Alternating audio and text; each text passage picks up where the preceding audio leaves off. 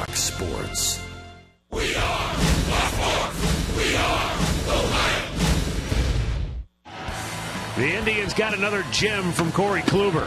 Unfortunately, Chris Sale was on his A game as well. Each team scratched out a run through nine innings. But in the end, the White Sox walked it off for the second time this year against Cleveland. Pitching was the story last night, and it could very well be a pitcher's duel again. Trevor Bauer goes head to head with Jose Quintana next on Sports Time Ohio.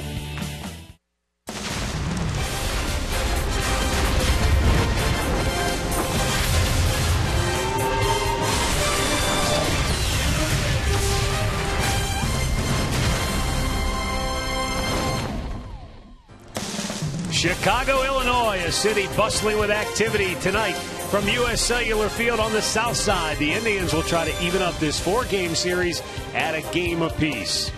Hi again, everyone. Matt Underwood alongside Rick Manning. Last night we saw another brilliant pitching performance on both sides. Corey Kluber was outstanding. Chris Sale was very good. They both wound up with no decisions in the affair as it went to extra innings. Chicago prevailed. Once again, here tonight, very good pitching matchup on paper. Trevor Bauer hasn't even allowed a run on the road yet this year, and Jose Quintana, well, the Indians have never beaten him. Well, he's pitched very well. Trevor Bauer coming off a no decision, allowing just one run to the St. Louis Cardinals. He's pitched twice against the White Sox. Pitched six innings the first time, he got a win. Pitched seven innings the second time, didn't allow a run. They scored four in the ninth and took him off the hook. He should be 2 0 against the Sox. On the year, he's 2 1. He's pitched very well, 367 earned run average. He'll be matched up against left hander Jose Quintana. Two and three on the year, but he has the Indians number. He's four and zero in his career. This is a left-hander. He doesn't walk a lot of batters. He comes right at you. He's not overpowering. He will mix his pitches up.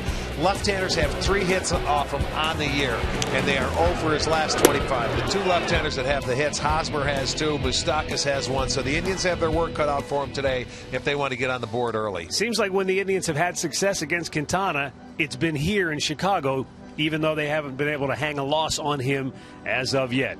So, how did the Indians bounce back from that tough loss of a night ago? We'll find out from Andre Knott when we return to U.S. Cellular Field right after this. Cleveland Indians baseball is brought to you by WB Mason, the official office supplier of the Cleveland Indians. By McDonald's, I'm loving it. By your local Toyota dealers. Visit buyatoyota.com. Toyota, let's go places and by the injury lawyers at Elk and Elk, proud sponsors of the Cleveland Indians. Call 1 800 ELK, Ohio.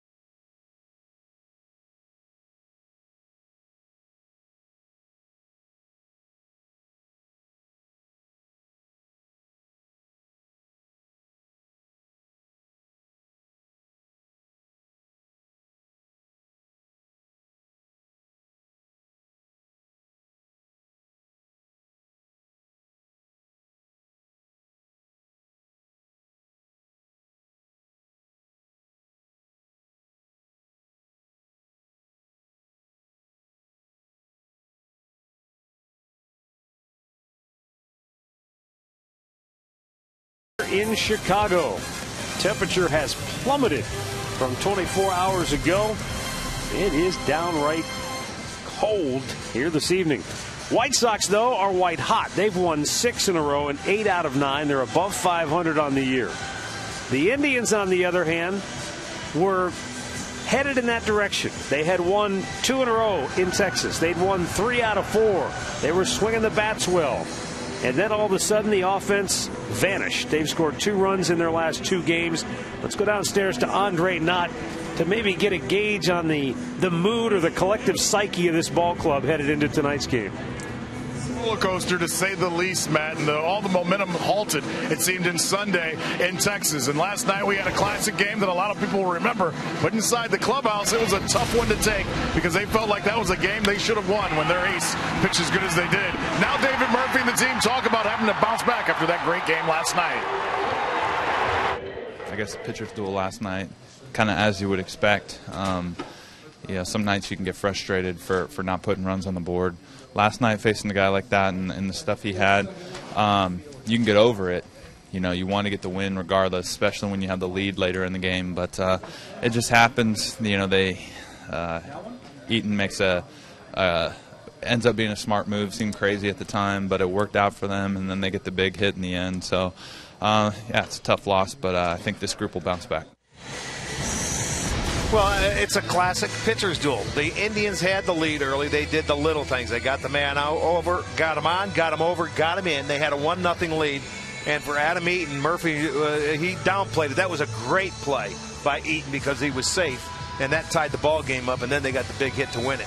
All right, we're back with the first pitch. Indians, White Sox, game two in this four game heavyweight matchup. Coming up next.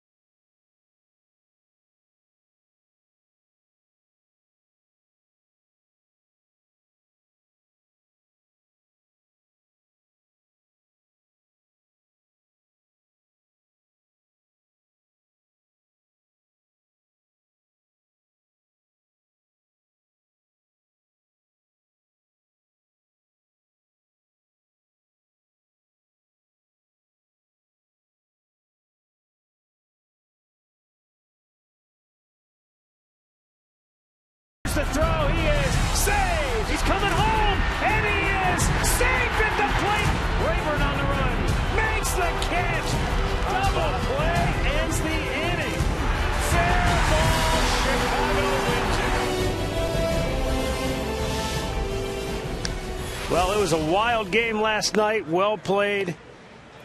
A lot of fun, very entertaining, tremendous pitching. And in the end, Chicago came out with the victory. So let's get a look at the Indian starting lineup tonight for Terry Francona. It is brought to you by Progressive Insurance. Jason Kipnis will lead it off, followed by Jose Ramirez. Michael Brantley batting third, hitting 463 with men on base this year. Ryan Raburn, Nick Swisher, Mike Aviles occupy the middle third. Then it's Brandon Moss, Roberto Perez, and Michael Bourn. Northern Ohio Honda dealer starting pitcher is Jose Quintana. The 26 year old lefty making his eighth start of the year, his third at home, and his second against the Indians. He, uh, that start against the Indians, he beat them. That was at Cleveland. He went six innings, three hits, and one run. It was an unearned run, but he's coming back at it again. 4 0 in his career against the Tribe. And in his last start, he beat the Brewers and ended a four game uh, decision streak. He had losses and a no decision. First pitch of the night is a little bit outside. Ball one to Jason Kipnis.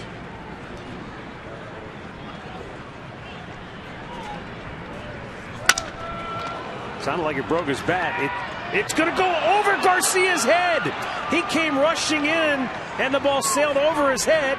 Kipnis headed for third. He'll go headlong in there safely with a leadoff triple on a ball that was just simply misjudged in right field by Garcia. Boy, it certainly was. He came uh, running in like he had to come after that ball instead of sort of keeping his. Uh, just planted, stay right there. He came running in and then realized, hey, that ball's over my head. Well, it sounded like it, it broke his bat. It looked like it was hit off the end, but yeah. obviously he hit it harder than Garcia realized. Yeah, that's a mistake right there. That's going to be a gift triple, and with Indians will take it, so will Kipnis. Now can they take advantage? Jose Ramirez steps in. And he fouls it out of play. Ramirez was two for three last night. And he had a clutch sacrifice fly that gave the Indians the lead. In a similar situation. Chops it foul. And now he's in the hole 0 2. Yeah, one away, uh, one in. That was that little breaking ball coming down and in. You can see Ramirez three for seven in his career against Quintana.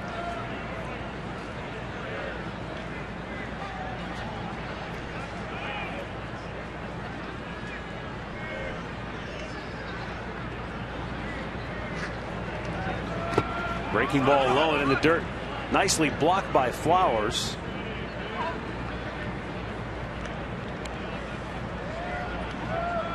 Well, that's what your heads up for if you're Kipnis on third because he's getting him, trying to get him to chase that breaking ball in the dirt.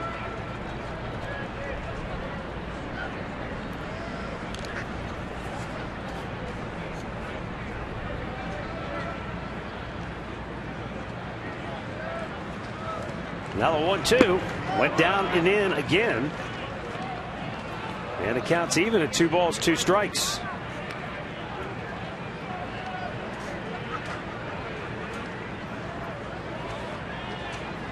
So nice job by Ramirez to lay off. Well, down there twice. See if he goes up and away now, where he got him to swing at least the first strike.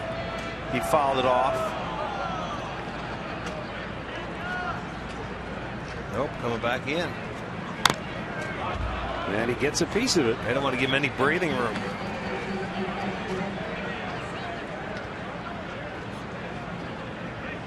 Michael Brantley waiting on Dick. You know, mentioned it last night. Ramirez hit 298 last year in 40 plus games that he batted in the two hole. And what do you know? He goes into that spot last night and has a big night with a couple of hits off one of the toughest lefties in baseball. Watch him go back inside. Look at it on our Nissan pitch tracker. It's low, down and in.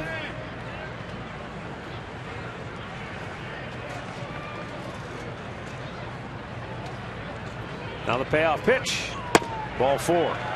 Well, I know it's a small sample size, but he's had good at bats in this two hole now in the last couple of games. Let's check out that Sox defense brought to you by Chrysler. It's Cabrera in left, Eaton is in center, Garcia over in right, Gillaspie at third, Ramirez at short, Sanchez is at second, Abreu at first, Flowers doing the catching. Garcia out in right field, six outfield assists already in this young season. Crew chief Larry Vanover's at second base. Brian Knight has the plate tonight. Dale Scott, Ron Kopel are at the corners. Well, here's Michael Brantley now. Just told you a moment ago, when he gets men on base, he's batting 463. 412 with runners in scoring position. There aren't many categories where you look at Brantley and say, whoa, boy, that's terrible. no, that's true. Well, you got the right man in the right spot. And you're in the first inning.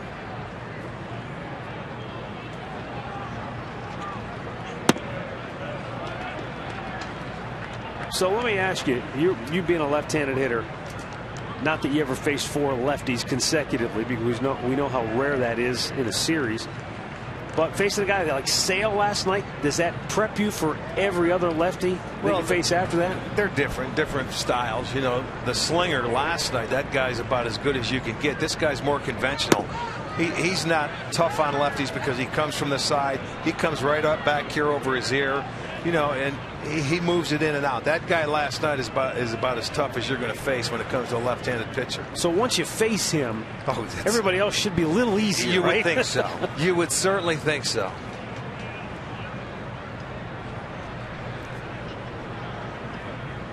I mean the the arms, the legs, the deception is not there with this guy. Yeah. You know what I mean? That that can throw you out of whack. He's very conventional, nice and fluid, and he yeah. repeats his delivery. He has good control. And it's not that Sale throws that much harder than Quintana, but it just seems like he does because the ball gets on you picking up quicker, the baseball, maybe. and he, he has a, a, better slider, and he's got an outstanding changeup too. Yeah, he's, he's top notch. We saw two uh, Cy Young caliber pitchers go at each other last night, and that's exactly what we, we thought we were going to get. They were both terrific. And it, it, looked like, to me, Sale was up for the the fight against Kluber, knowing that he he's not going to have he can't give up much, and yeah. and the Indians struck first. But the way Kluber pitched last night to get a no decision is a shame because the run that scored on him was on a wild pitch. Brantley sends a fly ball to center field. Fairly routine here for Eaton. Kipnis will tag. He's coming home. The throw is cut off, and the Indians take a 1 0 lead. Brantley with RBI number 23. Jason Kipnis with that leadoff triple on the ball that was misjudged by Garcia. Gets home with the Indians' first run. Let's go down to Andre, who has more on Jose Quintana and what the Indians hitters were telling him. The one thing they brought up is the velocity is different from Sale last night, but he short arms the ball a little bit and is a little unconventional. And the ball sneaks upon him. So velocity may not be the same, but at the same time, they say the ball gets on him just as quick. Huh. So not to say you guys are wrong, but that's some of the what the players were saying today before the game. And he can pick up the velocity when he needs to. That's something else to pay attention as the game goes along. You know, that's the, the thing you, you can sit and watch somebody pitch and you can pick up the baseball, but until you get in that little white box, you don't know. Yeah. Uh, you know how well he hides it. I say he comes right back from here, and that could be called a little short arm, where the ball will get on you a little quicker. And I totally understand that. Runner goes, throw down, a one hopper, but he almost Ramirez hit with it. beats it up for his sixth stolen base on the year. Yeah. I like that. This ball almost gets Quintana in the back. Watch him. He's going to get down. He doesn't realize how close it is. So I, I, like to see the aggressiveness here. Do it early in the count. So now Raburn has a chance with the runner in scoring position.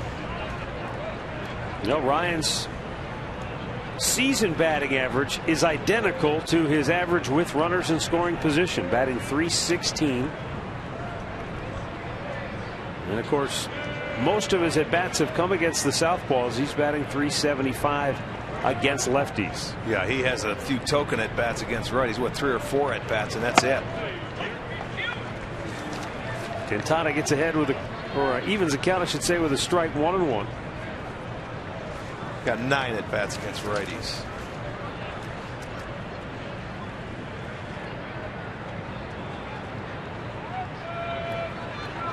Ramirez was going to go for third, and Quintana deked him with the inside move. Two down. I don't know if Quintana picked up on that or if he simply was going to second all the way. Well, I'll tell you right now, he was going to second all the way. Just uh, you know, there's your second baseman right there, Sanchez. That's in the area, and that you just have to read that better than what Ramirez did. If he was trying for third, you have to make sure he goes. There's no reason to steal third. You're in scoring position.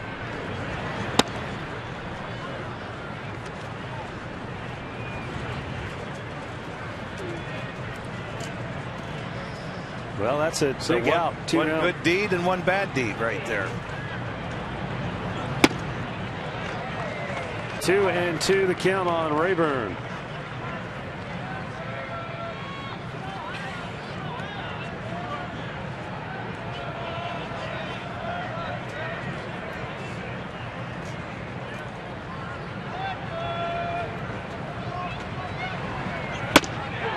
Strikes him out. Inning over. But Jason Kipnis has the Indians on the board first. The leadoff triple leads to the game's first run. The White Sox are coming to bat.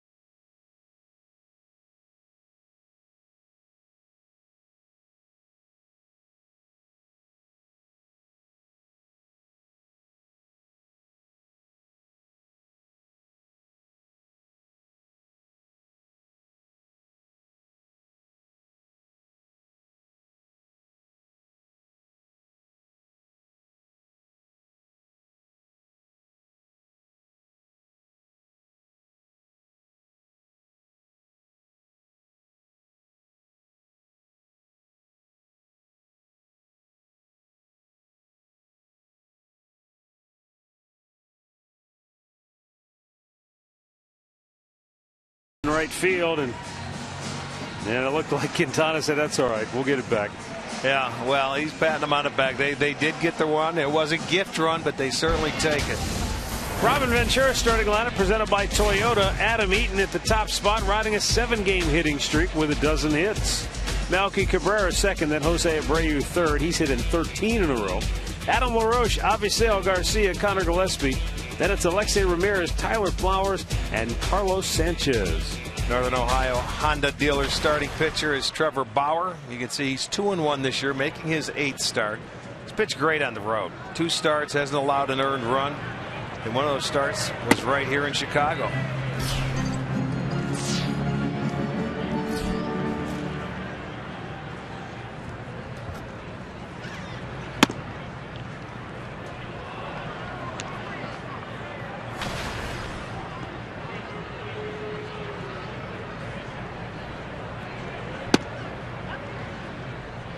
Two balls and a strike.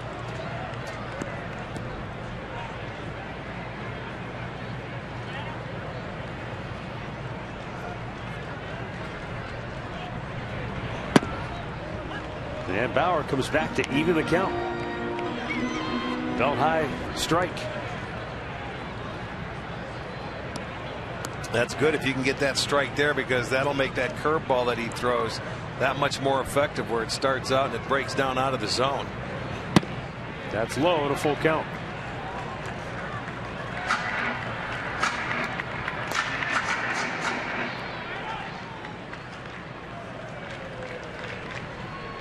The payoff and a one hop smash to short. Ramirez throws him out one down. Let's check out that Indians defense, which is brought to you by Chrysler. It'll be Brantley, Bourn, and Raburn in the outfield. It'll be Aviles, Ramirez, Kipnis, and Moss on the infield with Perez doing the catching.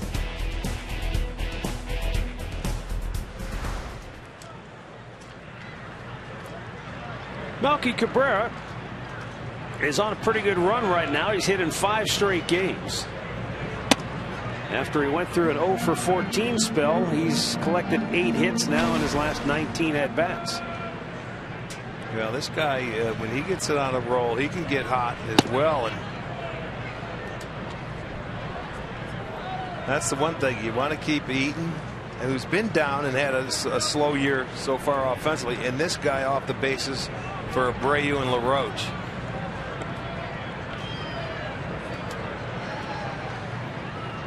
The 2 0 pitch. Pop foul, maybe playable for Aviles. Yes, he will get there. Two down. The keys to the game brought to you by Wayside Furniture. Solve a left-handed starter, something that has been difficult for the Indians to do this year. And for Trevor Bauer, that fastball command always so important. It is early in the game because we remember last year he had trouble in the first inning. And it seems like he gets better as the game goes on, and it all revolves around his fastball command. He usually reels it in as the game goes along. But it'd be nice to see him start a game out with it right from the very first pitch. Spike that one in front of the plate. Well, coming into tonight, the Indians have faced the same number of left-handed starters home and road. Seven at home, seven on the road two and five both spots. So four and ten overall against left-handed starters. And of course, they're going to see one not only tonight, but tomorrow and the next day. And two to go. Oh, yeah? When we get back home in Cincinnati? No, Thursday. Today, tomorrow, oh. and the next day. Oh, I got yeah. I don't know what uh, Cincinnati's got on, in store for them. Okay, we got league pitching. That's a righty. Okay, I thought you said today, tomorrow, and the next day. I thought you meant Friday.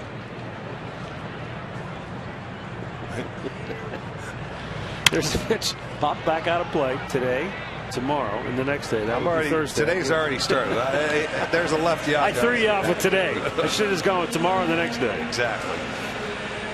Jose Abreu, a 13 game hitting streak, Bumped his average up to 293 overall.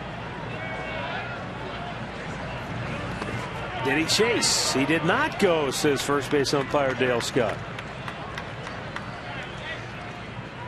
Gee, seems like lately, Rick, if they even start that bat, they get rung. But it looked like he did chase. Yeah, he, he, he was able to hold up. Full count.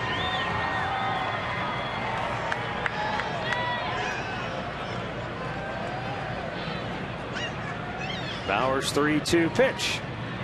And a fastball is fouled off by Abreu. Pretty good fastball down and away.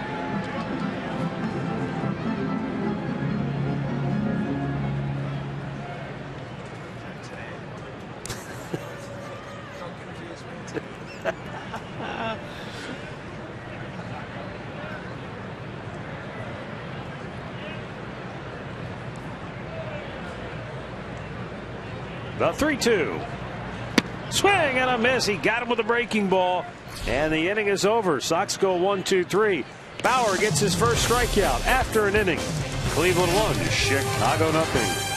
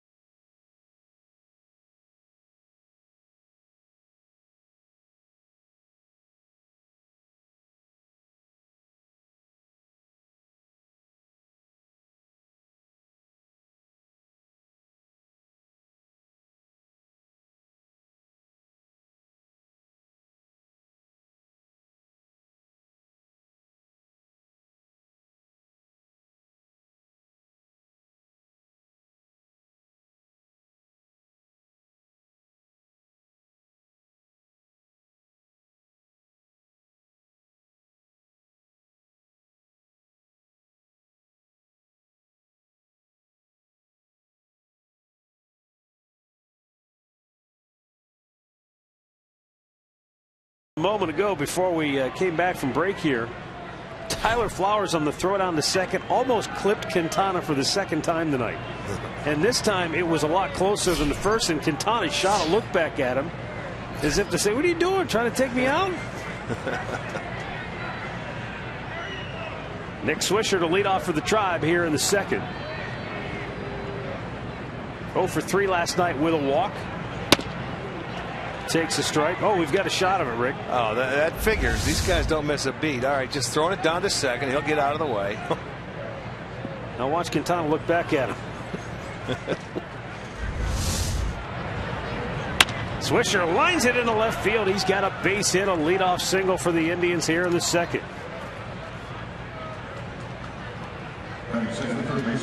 Our window systems game time temperature tonight 50 degrees, clear and cold, and it's already dropped to 48 from when we started the game.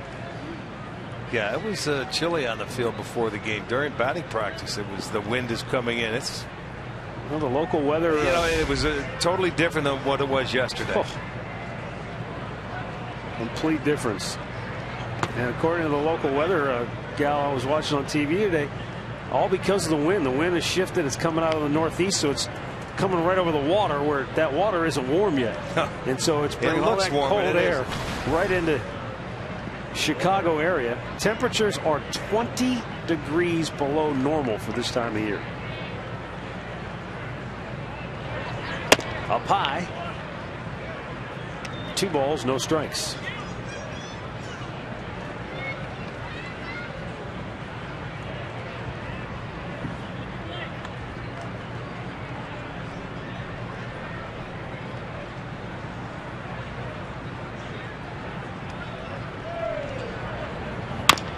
Right back to Quintana. He'll go to second. They get one. On the first. Double play. That's the call on the field. We'll see if Francona challenges it. Mike Aviles says, I'm not leaving first base. I think I was safe. Well, that's all right. He's going to stay there. He's looking for his manager. They're going to go back and look at a replay until they see something happen. They did get the guy at second. And they're going to wait around and let's see what happens. Quintana made a good throw. It looked like uh, Aviles was going to beat it out. I'm going to have wow. to say he might have been, but that's a tough angle. We didn't see the ball go in the glove that way. But uh, they're look at they're staying there. Well, Aviles is, is, looking. They're still they're still trying to get word on what to do. And now they well, say bring him in. Right, you got to get off the bag. You only have like 30 seconds. I mean, I know you can stall, but they didn't want to challenge you because maybe they just didn't have a good enough view of it to see it. We didn't. Yeah, tough with that angle, you can't see where the ball goes. No, you can't. Uh, so they're not going to overturn it.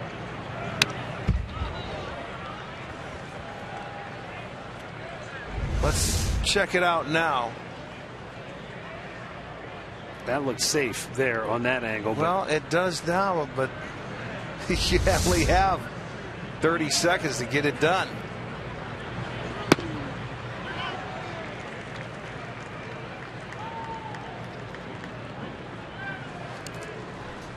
And you know, in the second inning, it, you don't necessarily want to burn your challenge unless you're convinced. Well, you want to win it, so you have another one. You know, you can keep it going. You don't want to lose it on a right. play like that.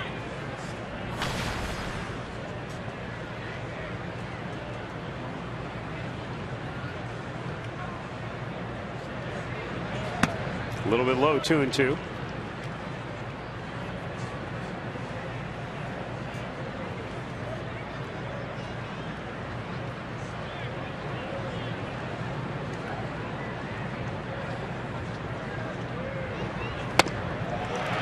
Strikes out, inning over. Middle of the second. 1 0 Cleveland.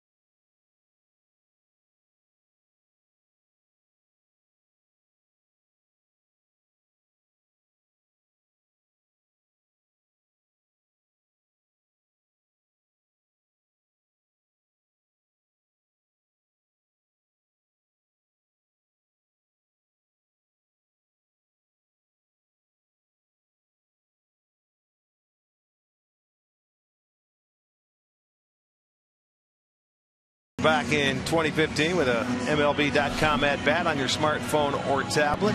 You can stay connected with live radio broadcasts, stats, breaking news, and more. Download the MLB.com at bat, uh, number one app for live baseball.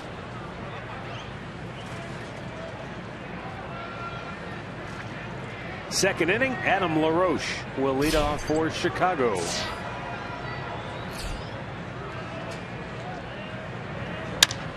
Swings at the first pitch and pops it up left field routine for Brantley. One down.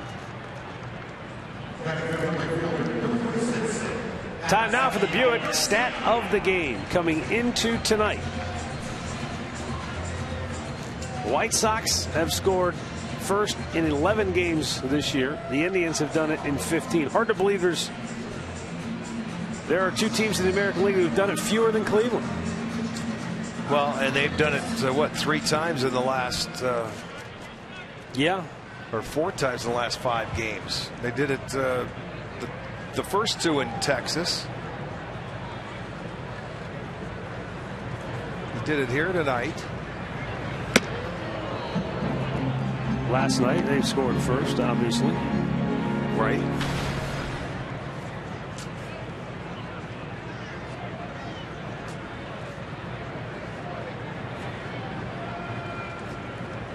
Swing and a miss by Garcia.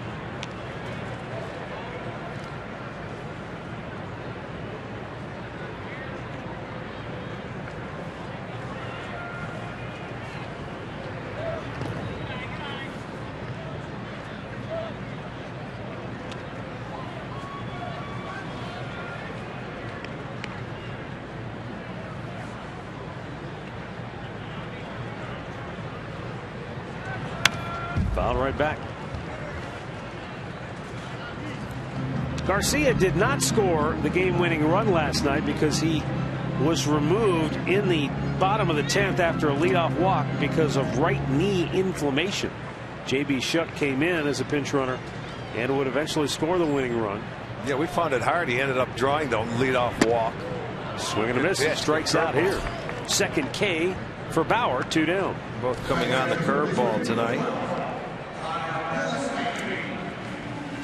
This is going to be our Circle K strikeout. Here's a good curveball. You see where that starts? It starts a little bit above the belt and it's got good bite above the six spin going down. And if that's why that high fastball by Trevor can get by hitters up here, you see it starts at the same spot when he can put you away with that curveball.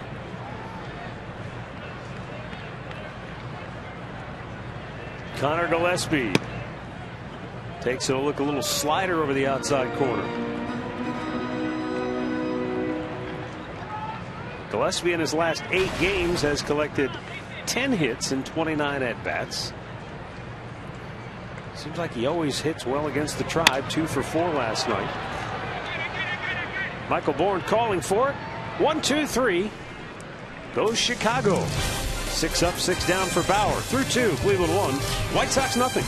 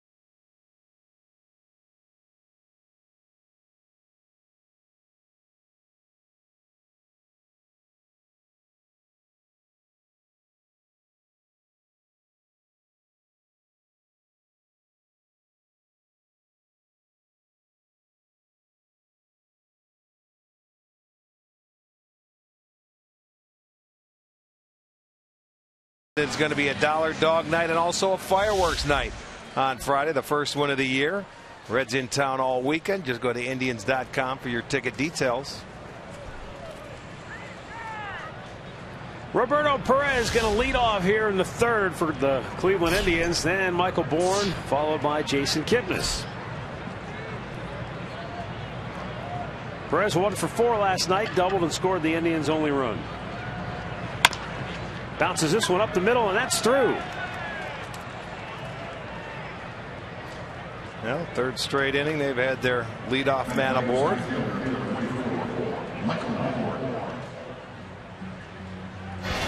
Injury report brought to you by the injury lawyers at Elk and Elk. Victor Martinez goes on the DL, that right knee injury that yep. looked like he initially tweaked it against the Indians early this season. He's been trying to battle through it.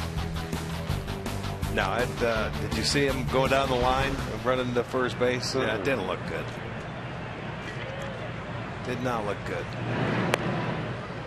Yeah, I think uh, Perez has got this, the steal sign on the very first pitch. Isn't it funny how they get programmed or they just throw over yeah. there? Yeah, look at he's smiling about it. He's talking to Abreu. What are you doing throwing over here with me? A strike called on Michael Bourn. Looked like he pulled it back, but it was in the zone.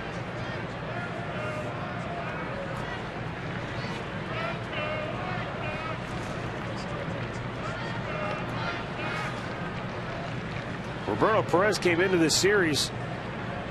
He had two hits and 27 at bats. Now two for five against the White Sox in this series. Bourn sends a pop to center. Back goes Eaton. One away. Here's our AT&T Uverse rewind. In the first, Jason Kipnis off the end of the bat fooled Garcia, who came charging in. It was over his head. Kipnis goes into third with a triple. And then Michael Brantley drives one to center field, plenty deep enough to get Kipnis home, and that's the game's lone run. Here's Kipnis again. He has hits now in 10 of his last 11 games. Twenty-two for his last forty-two.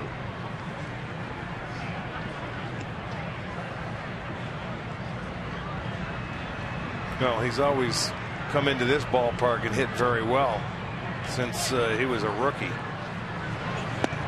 Certainly being from here, family, friends in the stands help. And he'll always love to come here.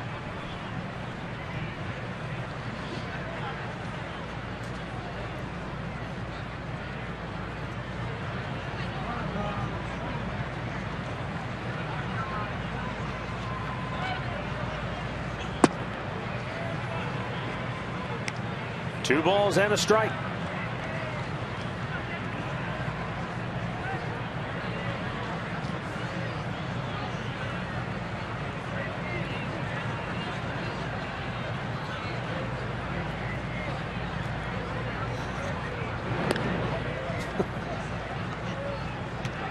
Roberto Perez again casting a glance of disbelief in the direction of Jose Quintana. That hit he gave up to Kipnis in the first inning was only the fourth hit he gave up to a left-hander all year long. They were over their last 25 in his last six starts. Although it was aided and helped by Garcia, but it still goes down as a base knock. He has been tough on lefties this year.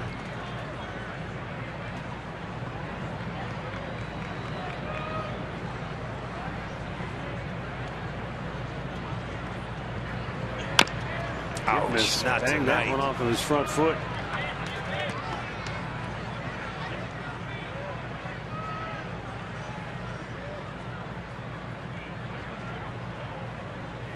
And one thing about Quintana, too, for not being an overpowering pitcher, you're going to get a look at this one again that's going to hurt.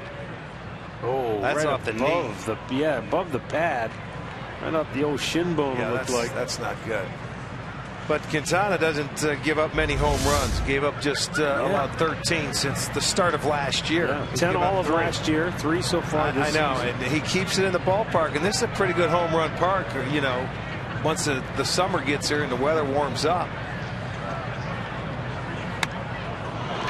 Oh, man. Sounded like last the thing bat. the Indians needed. I think Kipnis got it right on the wrist. That's what he's holding. Oh, boy, oh, boy. sounded like it hit the bat, didn't it? It really did. Which is why I'm thinking it's not good. Yeah. See, that's what Ventura's coming out. He wants to talk to home plate umpire Brian Knight about.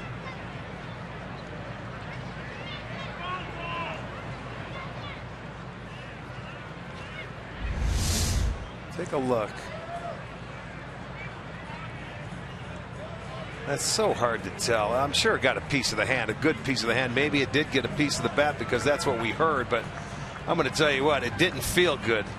And look at as soon as that ball comes back, you can see him grimacing. That that hit him right in the hand. I'm with you, Rick. It probably got the barrel. I mean, it probably got the knob, but it definitely hit the Yeah, hand. Yeah, no, that's uh, that's just aided because there's no give right there, and that's what the sound comes from. And he's looking down. That certainly did get him. He's been hit a lot. It seems like this year. Well, he was hit twice in the one game Yeah, against Car- uh, St. Louis. Once, I think, in Texas. And now once Well, here in Chicago. swinging the bat like he is, it's they try to pitch inside a little bit more. That's his fifth time this year. Two on, one out. Jose Ramirez at the plate, and he takes ball one. Mentioned it during his his first uh, at bat. He's had better looking at bats in these last two games now, batting in the two hole. Whether or not that whether or not that's coincidence or just a different focus based on where you're hitting in the order now, more traffic. Let's go down to Andre. He might have more to add on that. You know, and talking to different people within the team, they want Jose Ramirez to play with more confidence. As you guys know, and I don't know if the fans know, they call him George, as in George Jefferson, when he's got that strut going. And the team wants him to ha- go back to being that guy and being disruptive on the play on the when he's out in the field. Last night, even uh, Tito Francona said, "Look, he likes being in that two hole because he can get, be disruptive and get things going." Bangs one up the middle. Quintana's got it again. Goes to second. There's one. No chance at a double play this time. Yeah, they were smart to hold on to that one. We got to tell we got to tell Jose to move up on the east side, Andre. That that sequence didn't flow right there for the double play. It gets right back to him, one hopper. But watch as he gets just slowed everything down. It was a bad feed. You know, he didn't get him in motion to, with a good hard throw to where they could turn it because Ramirez could get down the line, and by the time Sanchez got it, he realized he wasn't going to turn it. Well, it- it's almost like you, you catch a break if you're Cleveland then. And let's see if they can take Yeah. advantage of it. I mean, there's a play you, you certainly could have. Uh, could Usually have a double play ball. Usually a comebackers a, A a one double hopper. play. Yeah. Yes. So they're going to get an extra out in the inning. Pitches Brantley in off the plate for ball one.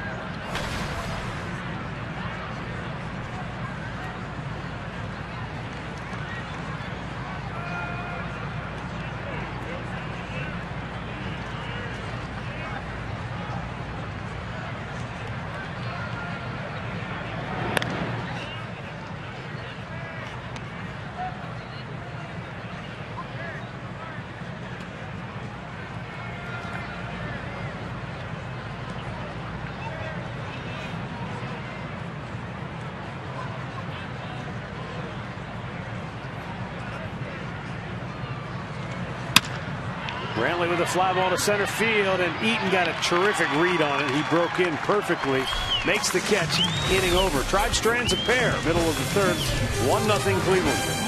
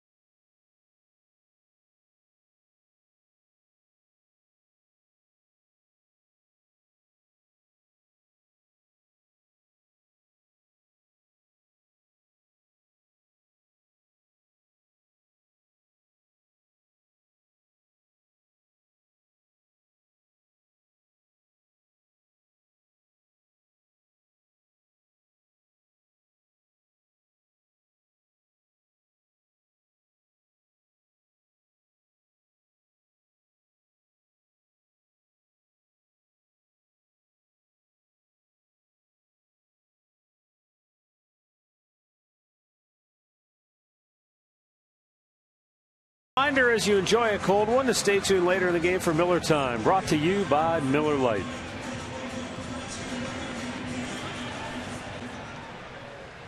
Bottom third of the White Sox order coming up here in the bottom of the third inning. Trevor Bauer sharp here at the outset. Good fastball command, really good breaking ball, slider and curveball so far tonight. And a fastball gets ahead of Ramirez 0 1.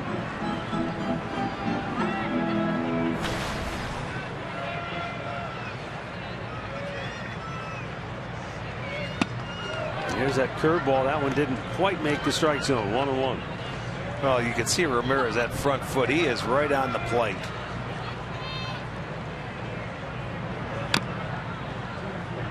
And a slider away. He pulled off of 1 and 2. He's starting to get hot. He's hit in 11 of his last 12 games. Well, he really started the year off hot last year. Another good pitch. Good throw by Aviles across the diamond, one down.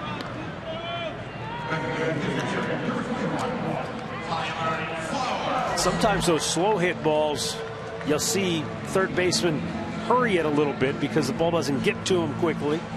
But Aviles, steady as she goes. It's all about knowing uh, the base runner who's going down the line, that in, internal clock that you have as an infielder. Yeah. You know that you that's all part of knowing the defense is knowing how fast that runner is going to get down the line and what you have to do to get rid of it.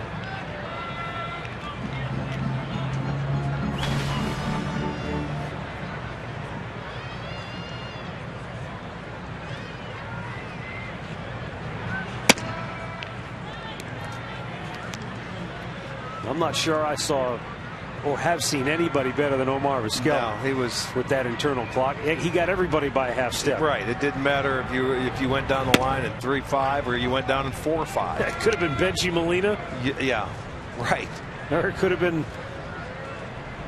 the fastest guy in the league. Didn't matter.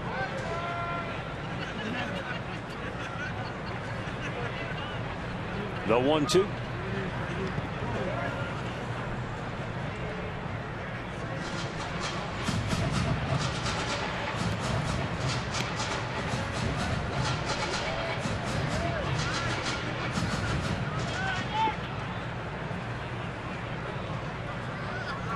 Two-two pitch to Flowers.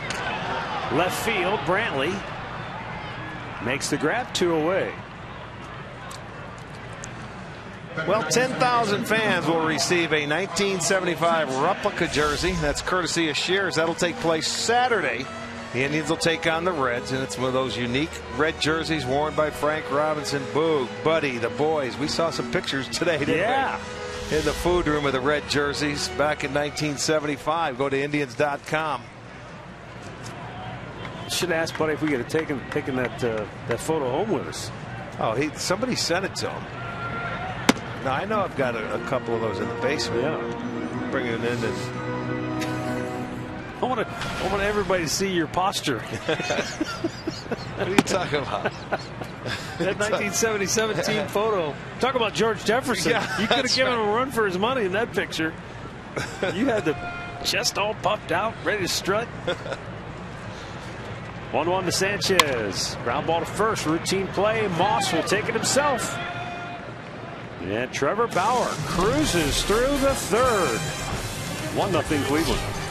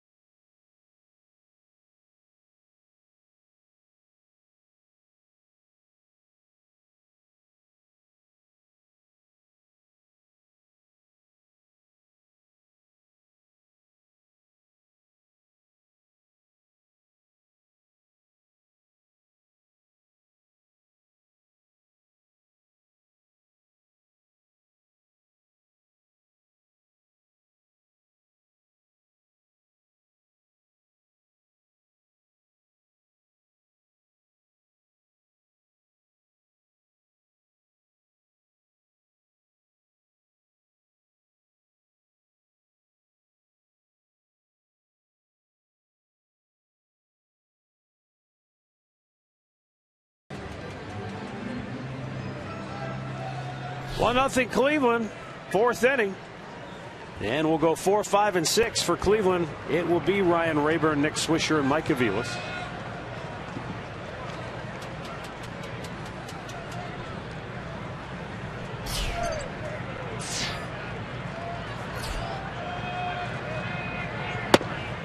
At the knees, a strike.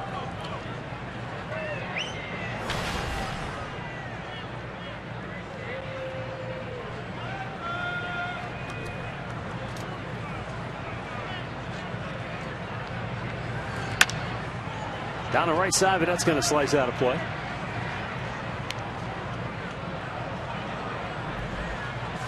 Hey, when we were in Texas, we got uh, got those uh, chocolate zucchini muffins, right, from uh, the Vandersols, Patty and Jeff.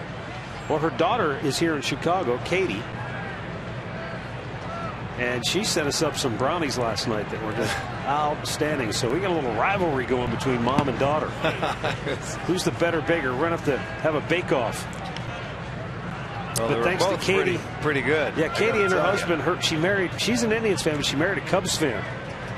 So they're going to be going at it later this summer when the Indians and Cubs meet for four straight, two in Chicago, two in Cleveland. Right. Mid June, I believe that is. Yeah. June 15th, 16th, 17th, and 18th. Know your schedule. Pop up to right field. Garcia is there. One down. Time for a Mazda game break. Here's Al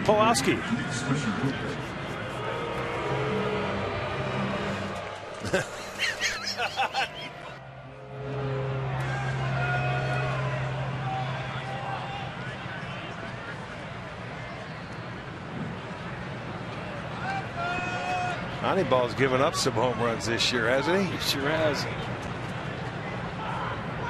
Nick Swisher, a base hit his first time up.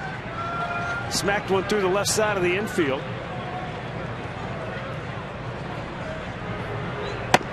And it takes a strike.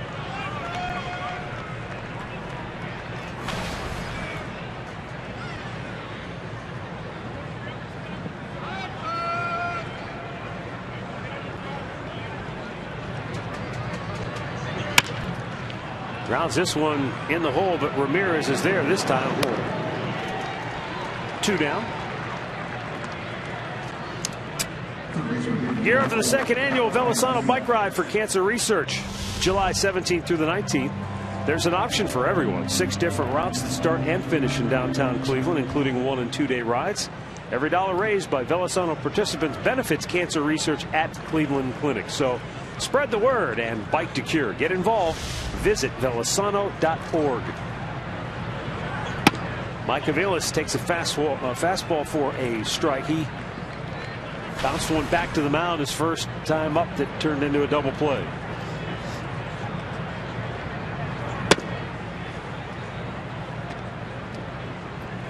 The Indians had at least a, one hit in each of the first three innings.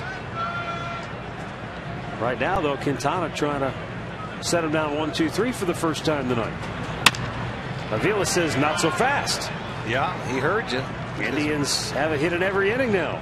With a two out knocked by Aviles. The only difference, they were all leadoff hits. That leadoff man was on. This time they get a two out single. And Mike puts a good swing on a fastball and takes it to right field.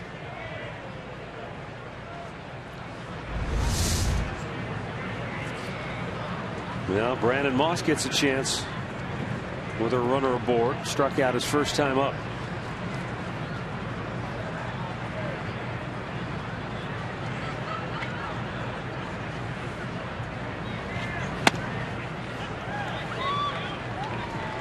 Moss got the start last night, not originally in the lineup, but with Carlos Santana ailing, bothered by bad back. Moss got the call and he went one for three. A little squib hit off the end of the bat against the left-hander Chris Sale.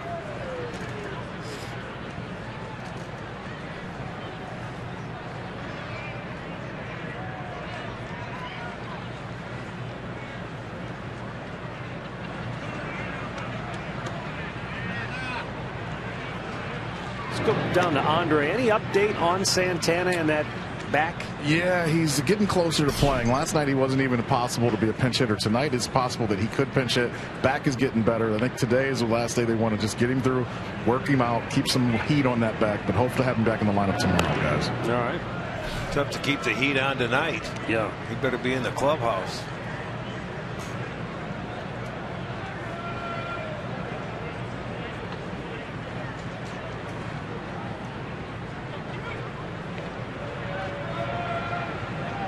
1 1. Moss drives one high in the air, left center. Cabrera calls for it, and the left fielder makes the catch. No runs, a hit, a man left. Middle of the fourth. It's still Cleveland 1, Chicago nothing.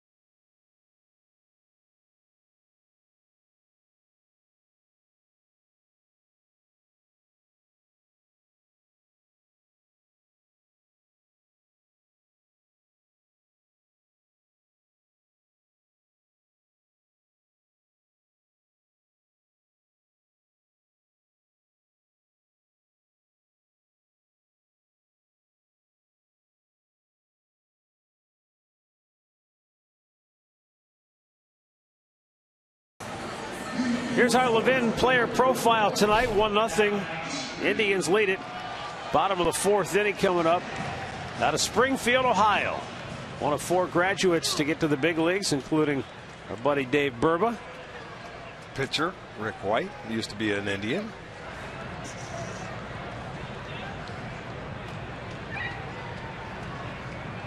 Originally a 19th round pick of the D backs. And yes, he did attend the same alma mater as Court Berry Tripp, but we won't hold that against him. Mike Aviles with a terrific nice play. play. Nice play. One down here in the bottom of the fourth. Yeah, you got to battle with that tarp, but you know, this is where outfield helps him. Where he, you just see him take a peek at the tarp, and then all of a sudden he realized where he was on the field. That's a, a nice running catch.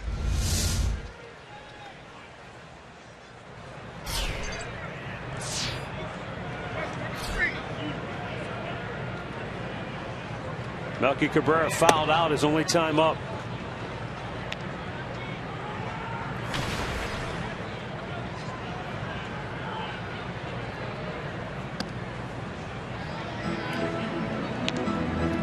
Two balls, no strikes.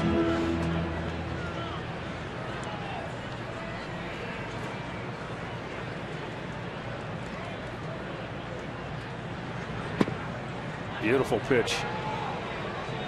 I mean, he's been changing speeds effectively, almost like hitters are in a rocking chair. They, they, go back, he goes in, they go in, he goes back. Yeah, he's he's mixed it very well tonight. Ramirez calling Aviles off. Two down here in the fourth. Well, grab some friends, catch a game at the new Corner Bar with the $13 district ticket. It's presented by Sports Time Ohio, and the the tickets are sold out for May 22nd and 23rd in the district. So hurry and get yours today. Tickets available only at Indians.com.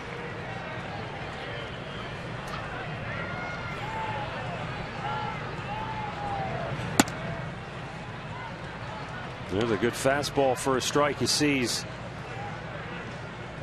Mix it up, but the fastball primary. There you go. As it usually is. Yeah, establish that fastball. That one was up and it got roped deep to center. And a one hop defense for a ground rule double. Well, he smoked that one. First hit of the game. After 11 in a row were retired by Bauer to start. Abreu with a no doubt about it. That was a fastball. It was out, up, over the plate, and the big man extended on it. And look at it, it hits up and it goes off that green fencing up there, comes back into play. So a ground rule double for Abreu. That's number seven on the year. Only his third extra base hit in his last 20 games. Well, let's hope uh, that continues. yeah, right. Until we get out of town. Now, Adam LaRoche flied to left. He only saw one pitch his first time up.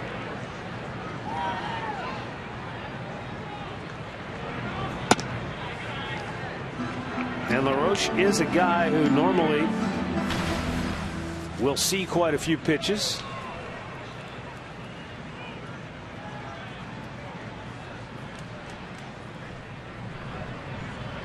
Sixth in the American League in walks. He's drawn 21 so far.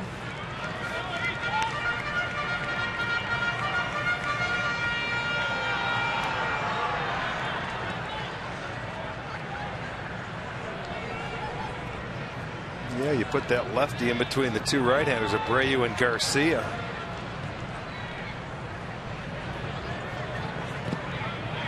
Three balls, no strikes.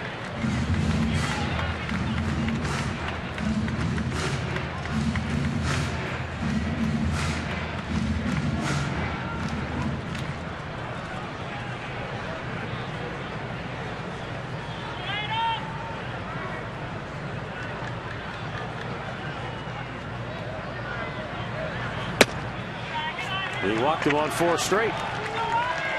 Two on, two out. And Avisail Garcia will be coming up. First time he's been out of the stretch tonight. That two out double by Abreu. Four straight then to LaRoche.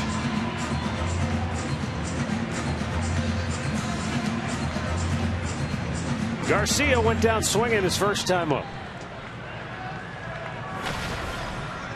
Did that look to you like Bauer working around LaRoche or No. just lost his command a little bit? there? I think coming up working out of the stretch, he just he's got to get a feel for it. This guy is, has been a better hitter so far this year than LaRoche, as far as average wise. Sure has.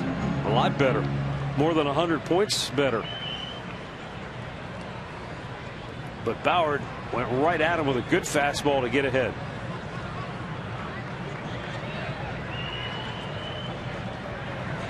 And a slider away wouldn't chase.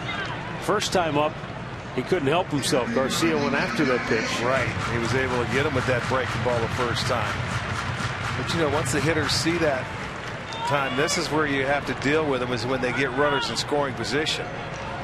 Because hitters, you know, they they file that away in that memory bank, know what you got them with before, and they try to to lay off of it.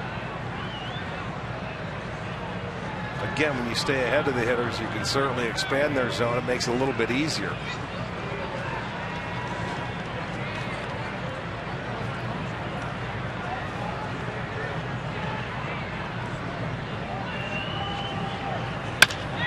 Line drive, base hit center field. Coming around third, Abreu.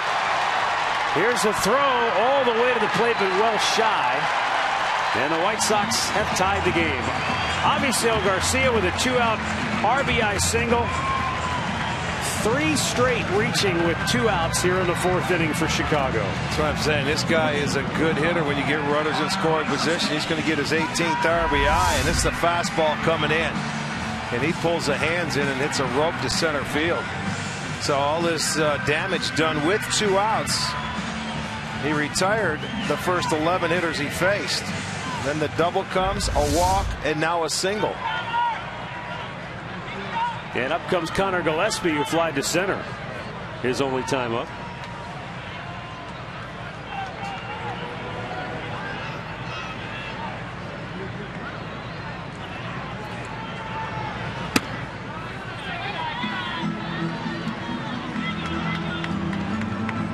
Trevor Bauer had retired the first 11 White Sox hitters in a row to start the game. And then three straight reach here in the fourth with two outs.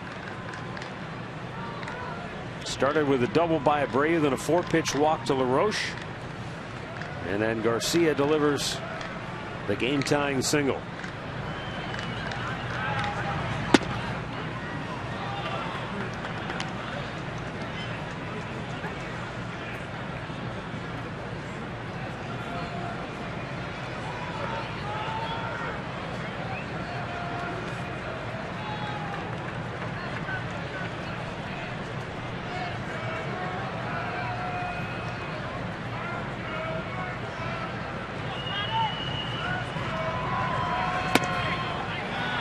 In tight with a fastball, two and one.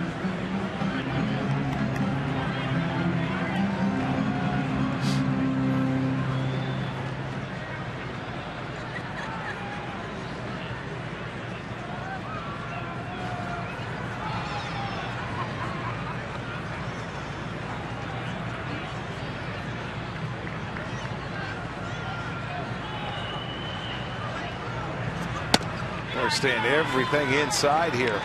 Doesn't want to give him any swinging room, but he's fallen behind in the count again ever since he's been in the stretch. Three and one to count with Alexei Ramirez on deck.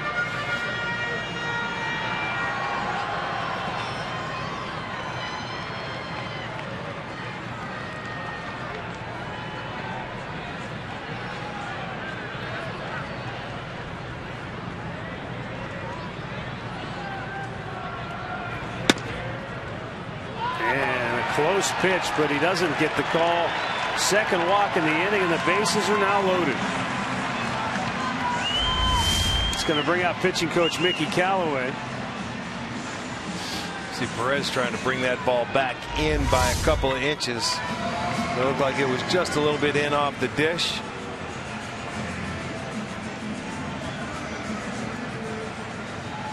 The batter will be Alexei Ramirez. Well, he was breezing, wasn't he? He was.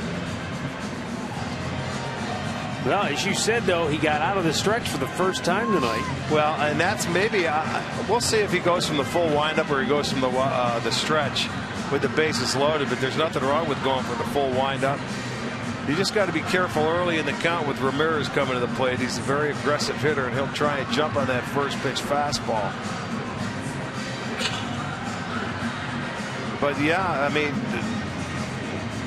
it was the four straight to LaRoche after he went out of the stretch. That's what you when you felt maybe he was pitching around him. I didn't think so.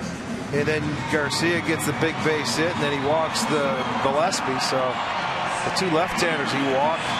That's going to give Ramirez a chance with the bases full.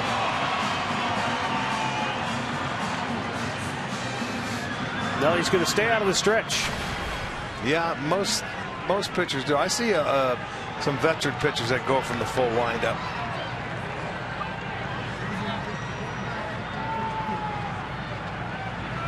Swinging a foul back. That was a breaking ball too. That's a good pitch. He loves to get after it early. You remember last night, first and second, nobody out. He went after that first Yeah. pitch and popped it up to the infield.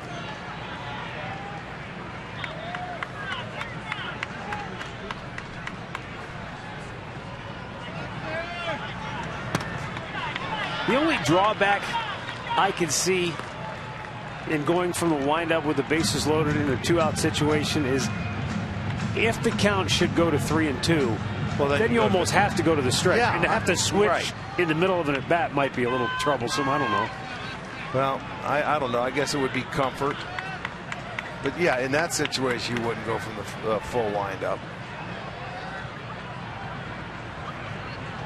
One one pitch. Oh, he chased one and helped him out. He sure did. That's all right. He wants that fastball. That shows his aggressiveness at the plate.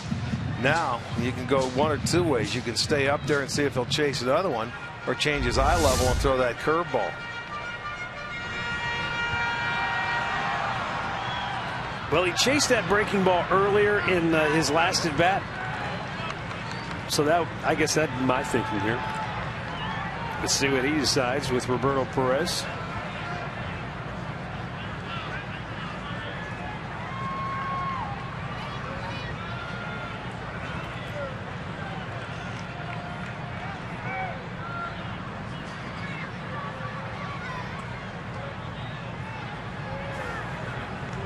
Well, whatever they can't get on the same page, Bauer shook him off.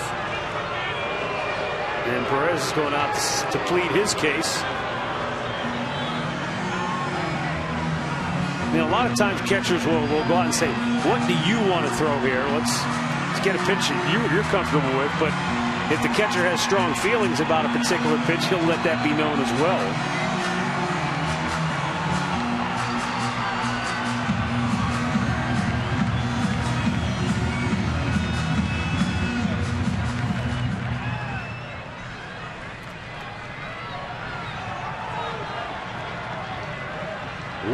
Our score. White Sox have them loaded with two down.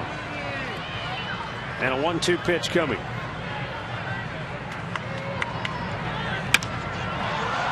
Popped right field near the line. Long run for Raburn into foul territory. Just he ran out of room.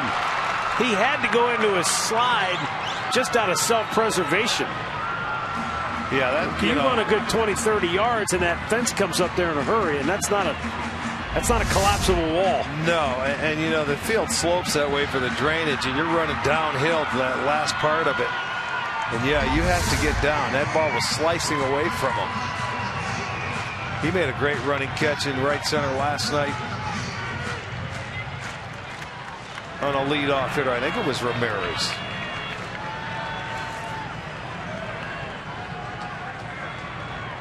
It was in the eighth inning.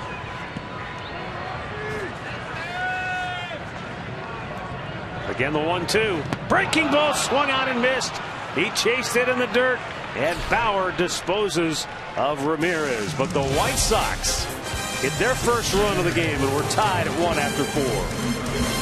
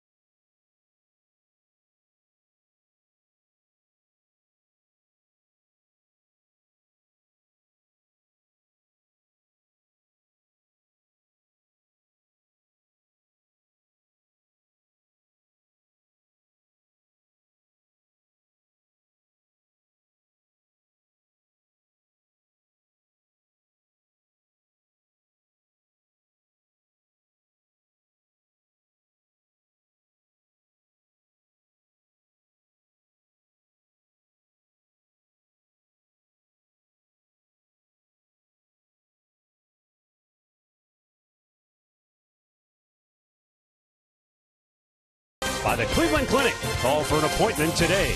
And by the game changing all new Ford F 150. The future is tough.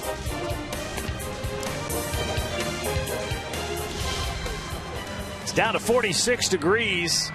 And that wind's still coming in out of the north, so it has kept things very frosty here at the ballpark in Chicago. 1 1 our score, fifth inning. And Roberto Perez to lead off for the Tribe. The Indians have a hit in every inning tonight. The only one that led to a run, a leadoff triple by Jason Kipnis in the first.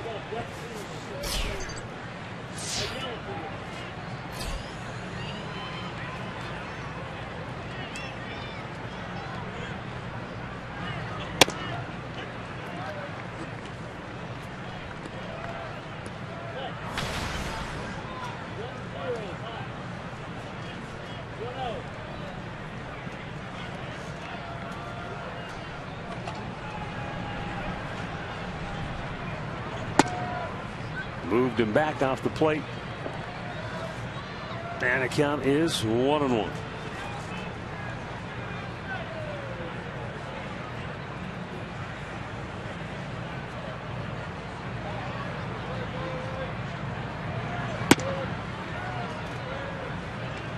Well, if you're a Chicago area sports fan, this is a great time of year. Disappointing, I'm sure, for the locals that the Bulls were knocked out of the playoffs by the Cavaliers, but the Blackhawks are in the Eastern or in the uh, Western Conference Finals. Chance to go to the Stanley Cup. Oh, swinging a Nissen and a Flowers took one right off the noggin. He whacked his fellow catcher on the backswing. That can't feel good. Oof. Right on the front. Knocks that mask off almost.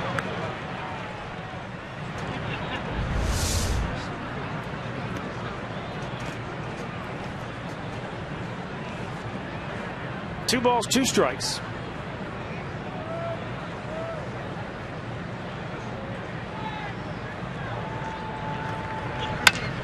Bouncing ball up the middle. Sanchez, the second baseman, will flip it over. One away. Tomorrow night, game three of this four-game series between the Indians and White Sox. Indians Live gets us started at 7.30 and then all the action at 8 right here on Sports Time Ohio. Shaun Marcum will make his Indians debut, or uh, I should say his uh, Start. second. Yeah, his first start. Right. And uh, Carlos Rodon will go for Chicago. We saw him make his debut, and it was a Out of the odd, bullpen. odd situation. He came in with the bases loaded. Sure was. That was a strange time. So he'll get his first start against the Indians.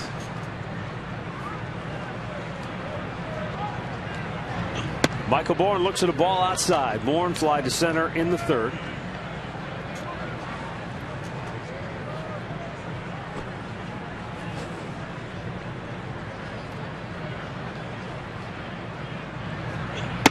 Big curveball, but a little high.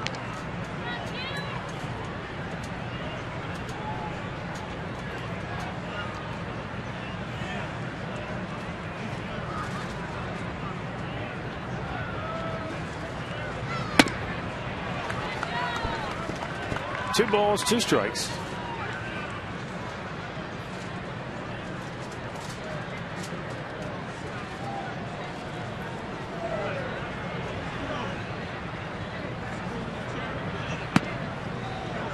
Went back to the breaking ball, but missed outside with it. Full count.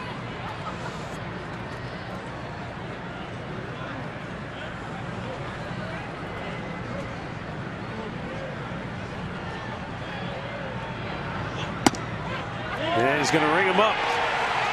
Bourn slams his bat down, and now he's barking at home plate umpire Brian Knight. Terry Francona takes up the cause from the dugout.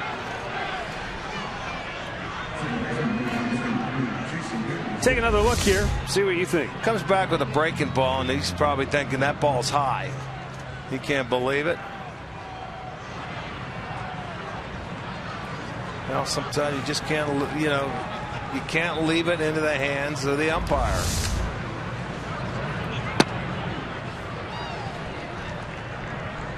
Third strikeout for Quintana.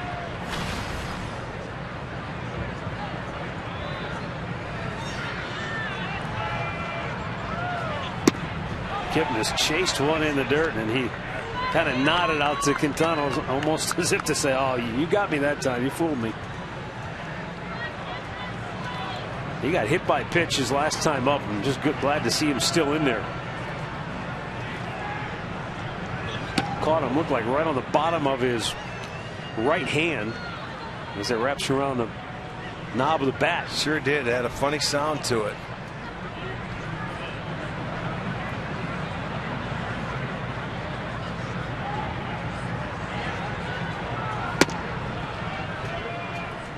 On a night like this, too, when it's cold, even if it hit more bat than hand, the vibration's enough to. You know, there's just no give, even if it gets you in the hand, you know, and then it pushes against the bat. So it, it hurts even more so. Line to center. Yes, just off the glove. It tipped off Ramirez's glove. He's looking at his mid as if to say, How did I not catch that? Well, again, they get a two out single. And this, we saw him make a catch like this last night timed beautiful. He gets up there, but it goes off the end of his glove. He thought he might have had it.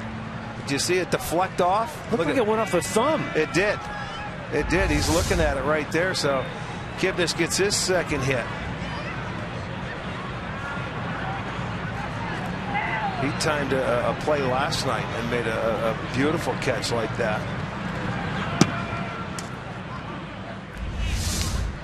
Watch last night. This is Murph Dog. Had a little more air underneath it. It looks like Kip hit his just a little bit harder, and it goes off the thumb of the glove. Good work, boys.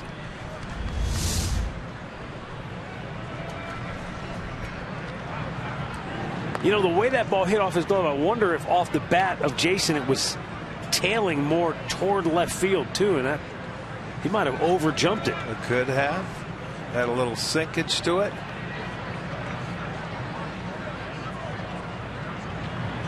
Ramirez rifles one down the left field line. That's a fair ball. Kipnis hits second. On his way to third. He's going to be waved home. He will score.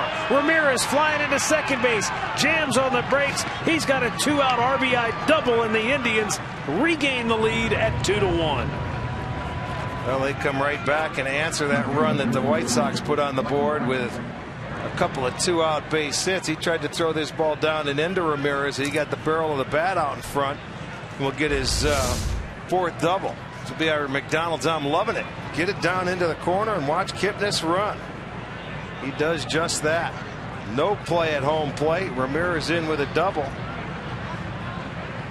And again, Ramirez continues to have good at bats in this number two hole. Maybe, just maybe, Terry Francona has found something here.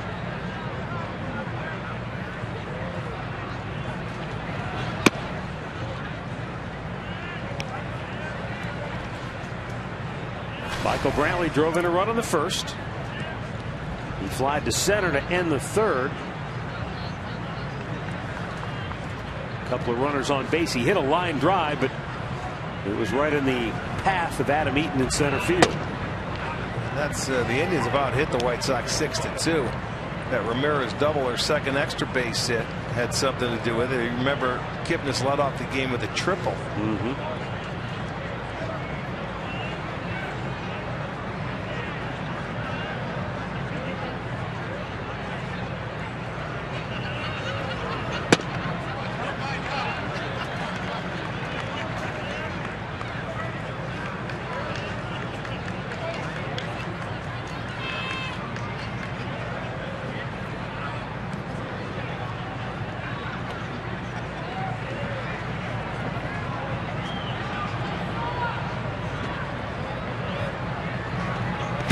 Wow, nice block by Flowers. That was way over in the other batter's box. That big body came over and knocked it down and kept it right in front of him. Watch that whole body slide over there and just hit it off the glove and just pushed it out in front of him. Nicely done.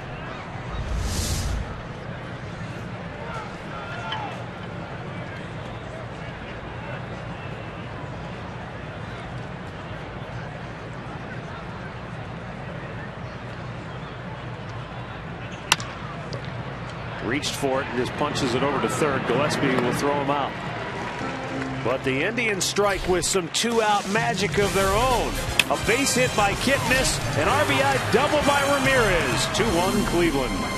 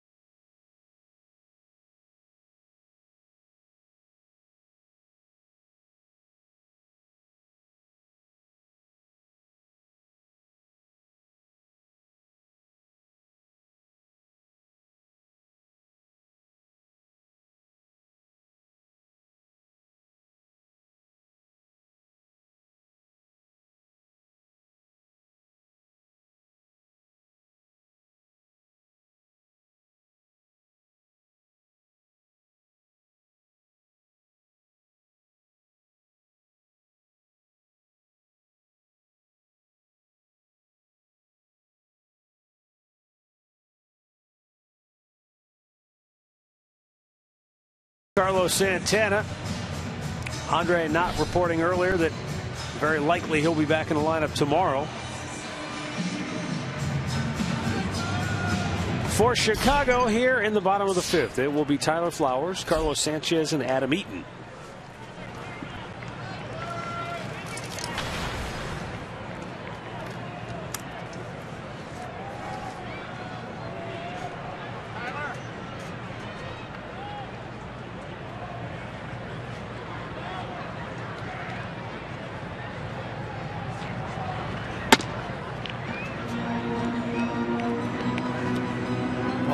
Damage the White Sox did last inning came with two outs and nobody on. Base hit in the left field. Perfectly placed between third and short. And the White Sox have their leadoff man aboard for the first time tonight. Here's our great clip of the game from last night. Corey Kluber followed up his 18 strikeout performance with a dozen more. He went nine innings and allowed just one run. Walked one, struck out, or allowed five hits. And the only run came home on a goofy, wild pitch that didn't get more than 10 feet from home plate.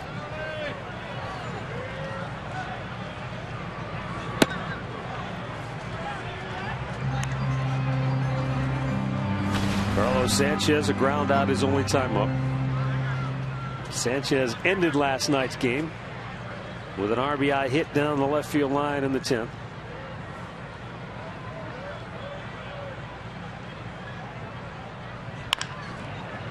Foul, first base side.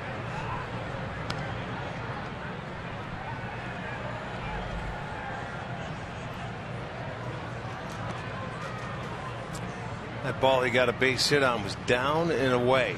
You know, it, it, he was fell behind in the count on a couple of good high fastballs, and then he got one down to his liking and lined it down the left field line. He bunts. And Aviles slipped to second. Goes to first to get the out. One away. Looked like Aviles slipped a little bit. He did. As he went to field that ball.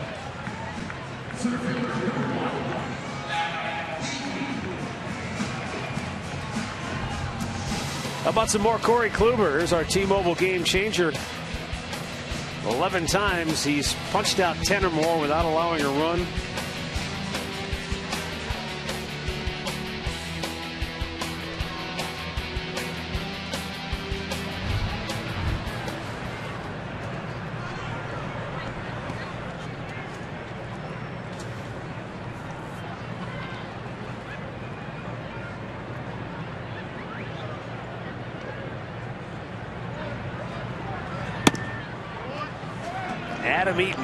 For 2. He's grounded out, fouled out.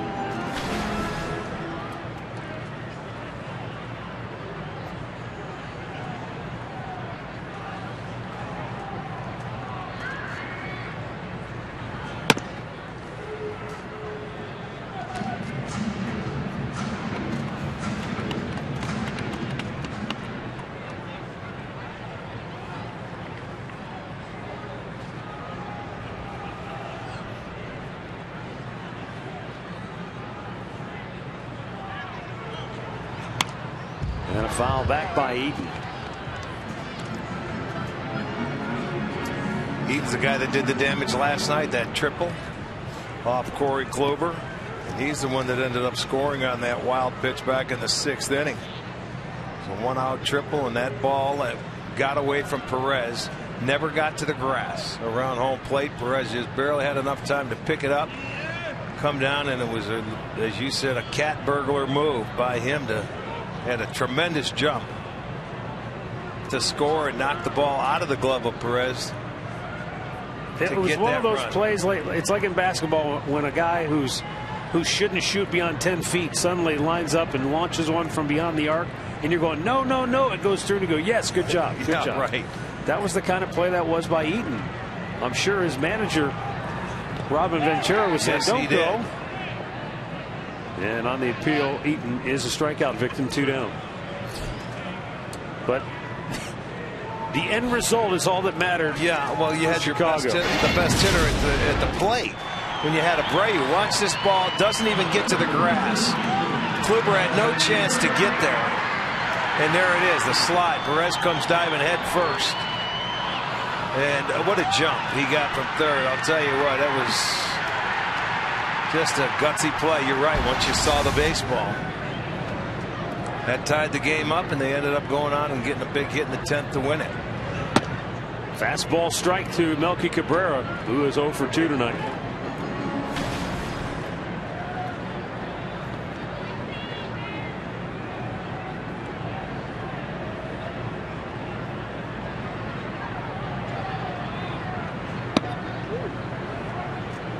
That slow hook just missing one and one.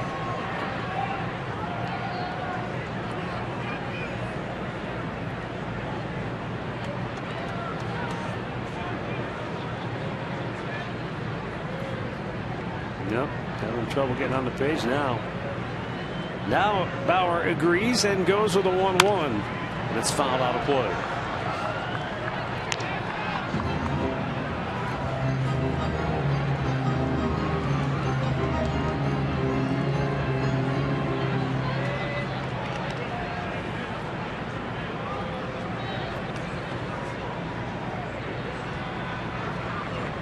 Tyler Flowers, the tying run at second base. Bauer's 1 2 pitch to Cabrera. And that breaking ball is fouled back. Yeah, if he keeps that breaking ball down, it's tough to get it in the air, and they just beat it on the ground, or they're just hitting the top half of the baseball.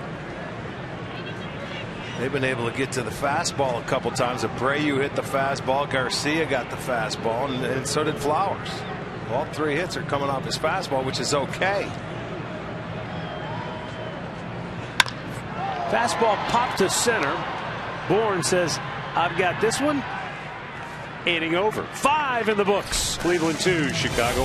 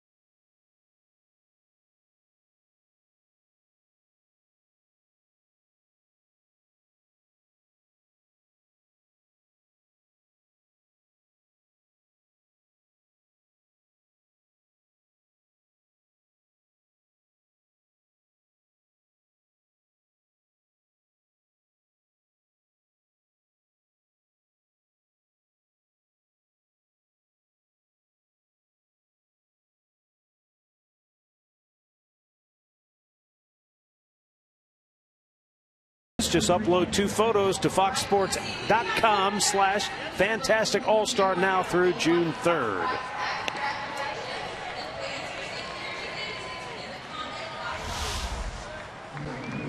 Ryan Raburn, Nick Swisher, and Mike Aviles for Cleveland here in the sixth inning.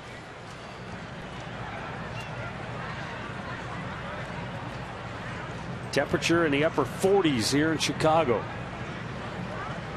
Yesterday it was 80 degrees in the afternoon, but boy, it started to cool off right about the time the game started last yeah, night. it sure did. When the sun started to go down.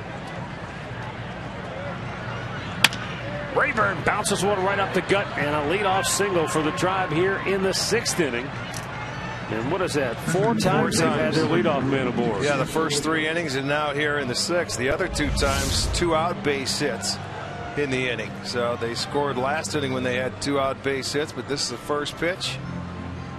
And gets it up the middle for a base hit. So seven hits now for the tribe. And Nick Swisher, one out of two tonight. Is the batter.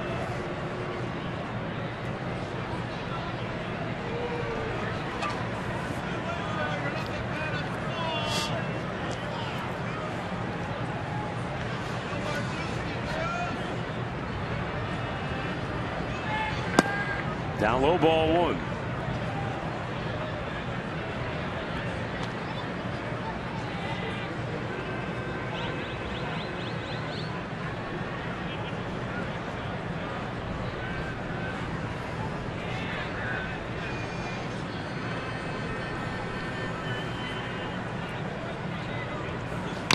Check to swing, and it's going to over toward the dugout.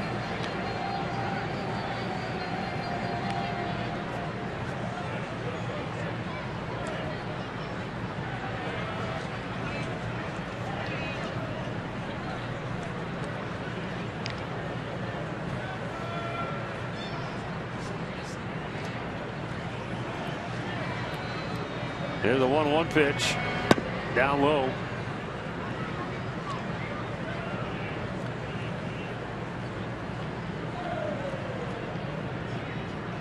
Jose Quintana just over 80 pitches on the night.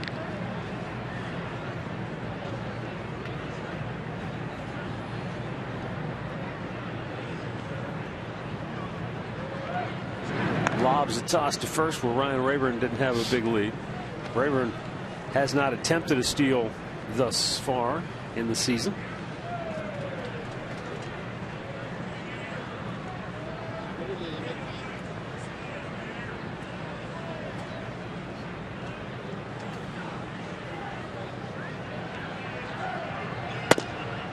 And a strike is called.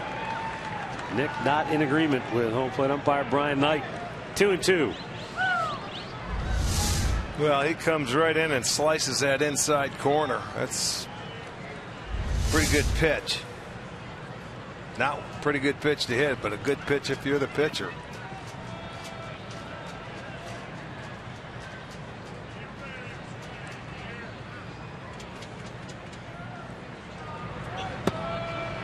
Breaking ball down and in, full count.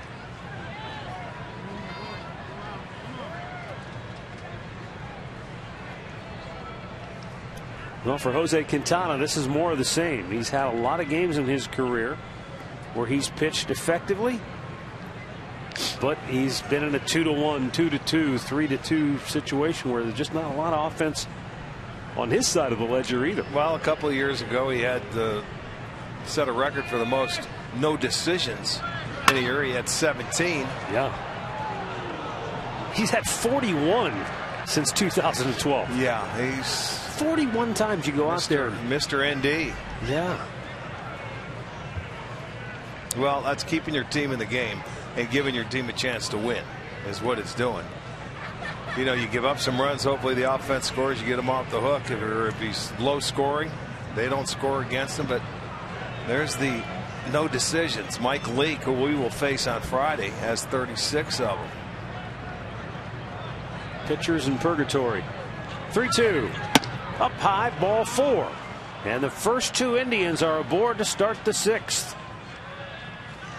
Out comes Don Cooper, the pitching coach. Our in game recap brought to you by your Toyota dealers. Michael Brantley with a sac fly scored Jason Kipnis with the game's first run. Kip had tripled to start the night. Avisail Garcia got the White Sox back to even when they had four straight reach safely with two outs in the fourth inning. But then the Indians, with two outs and nobody on base, got a base hit by Kipnis and an RBI double from Ramirez to regain the lead. Now they have their first two on with nobody out in the sixth. And Cooper doing all the talking to Quintana here and Flowers. No action in the Chicago bullpen. So that was just a let's go out and lay down the law kind of visit. Maybe they didn't like the pitch selection to Swisher, felt they were being too well, fine. Well, right now they're talking about situational right here, first and second, and nobody out about a bunt play. What made the infielders you can see are talking to each other what they should do should this happen. Trying to get the defense aligned right.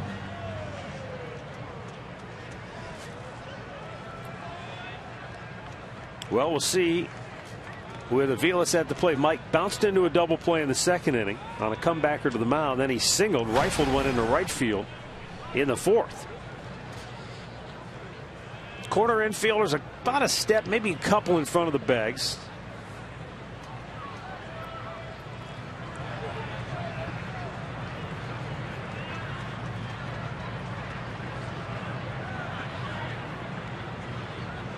Aviles squares, bunts it well up the first baseline. Nice bunt. And Abreu throws to Sanchez covering for out number one. Raburn to third, Swisher to second.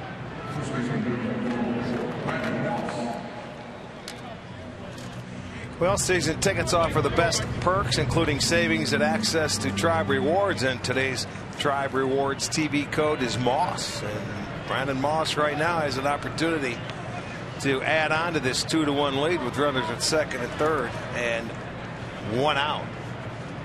See if Moss goes after the first pitch that he likes to try to get it in the air, get that run home from third. He will be looking for something uh, elevated that he can hit in the air. Takes inside, ball one. Infield for the White Sox is in. Drawn in, cut of the grass all the way around the horn. You can see the outfield is deep.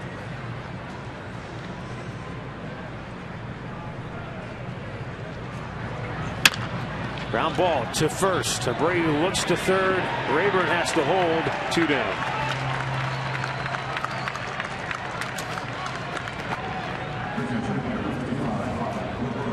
Unable to get him home. Now the infield will go back to normal depth and it will be up to Roberto Perez who's one for two with a single. That came back in the third inning.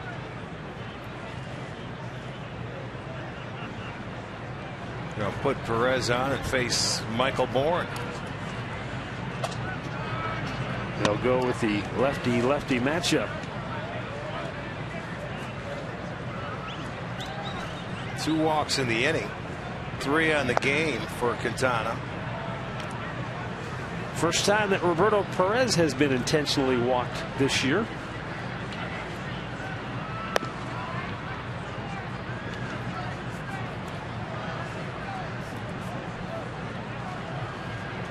For the second inning in a row, the Indians will look for a big two out RBI knock. Let's go back to the studios right now for a Mazda game break.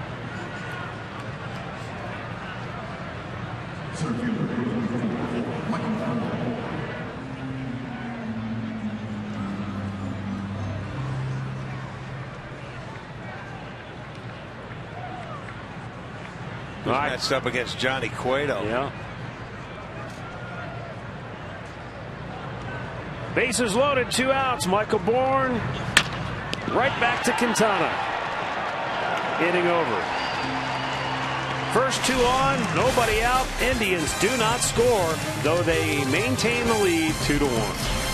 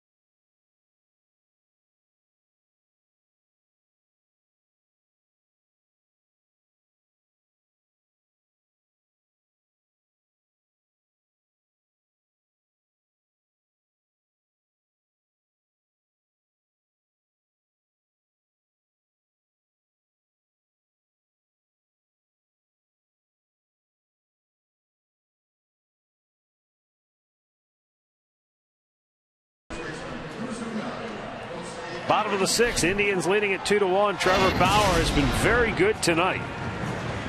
Well, he's mixed his pitches so well with the curveball.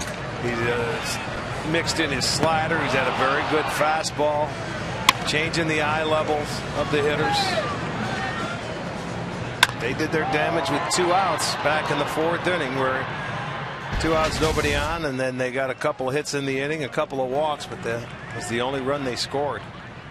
Well, in much like Corey Kluber has succeeded last couple of times out, get ahead by making quality pitches with your fastball and then bury him with your secondary Yeah. stuff. Center field, back goes Bourn. He'll grab that, and Jose Abreu is retired for out number one. Andre, what do you have on Trevor Bauer for us? You know, one thing that we learned from Carlos Carrasco last year is he really learned a lot after he pitched after Corey Kluber. He watched how he his routine, how he prepared, and how he attacked hitters. Trevor told me after his last start, he's kind of taken on that same thing. We know Trevor is a very smart guy and likes to pay attention to what other guys are doing. He's following along with what Kluber is doing against St. Louis, and he's been following the routine so far tonight as well. I'll tell you what, it's fun to watch Corey Kluber pitch every five days. If you don't learn something watching him, you got to be crazy. Well, and even more so, look, it's one thing to watch a guy when it's when everything's going well, and it's easy to say, "Oh yeah, you know, I'm just going to do what he does." But what I've been impressed with Kluber this year is, you know, things weren't going perfectly for him there for a while, and yet he was able to make the adjustment without a lot of hullabaloo and a lot of fanfare, and just kind of whether it's getting back to basics or whatever you want to call it, you know, he he's been just he's been maybe better in his last two starts He's been than he was last year. Yeah, he's been dynamite. Just a matter of run support. In the dirt. Two balls, two strikes. LaRoche flied to left on the first pitch he saw in the second inning. Walked on four pitches in the fourth. Now it's two and two with one out in the sixth inning. And that was a good breaking ball, and he laid off it. Full count.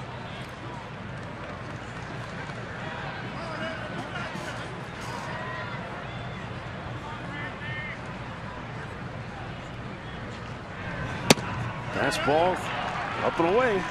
Second walk of the night for LaRoche. And it will bring up Avisail Garcia,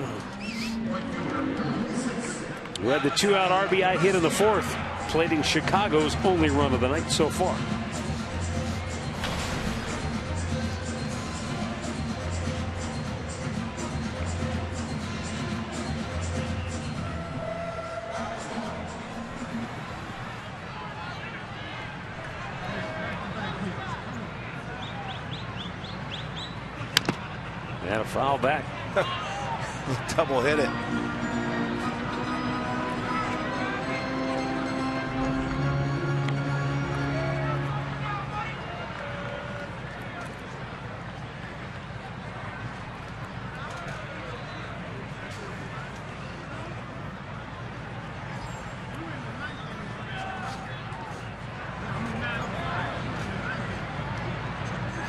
1 pitch. UCLA's off low and away.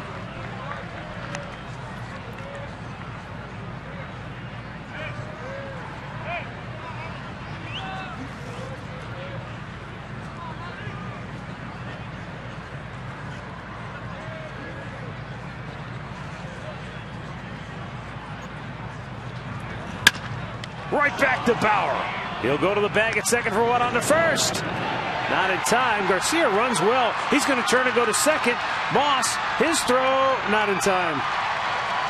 And so Garcia gets into scoring position with two outs. Thought maybe it was hit hard enough to get out of the inning, but the problem was Bauer had to wait for somebody to get to the bag before he could Well, that's deliver. communication right there. You've got to communicate and know what's going to happen when that ball comes back to you. Normally they'll look back. Look, it's Kipnis started it and then stopped. And then Ramirez comes into play. So that tells me Ramirez wasn't over there in time. And, and the throw is a terrible throw. So it'll be an error. That's just not knowing who was covering. You're right. That's a communication breakdown that you have to know. They should be out of the inning.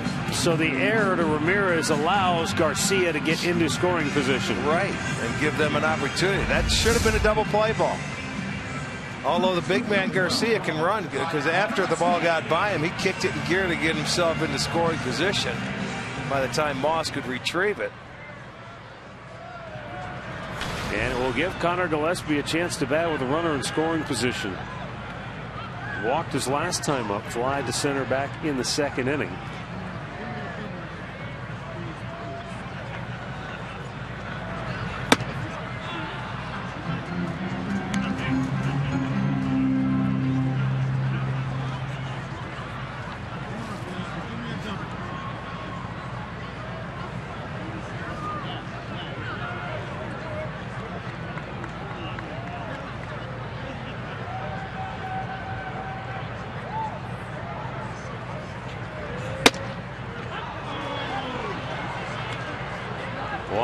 Count. He's been pitching a lot of the left-handers inside today with his fastball.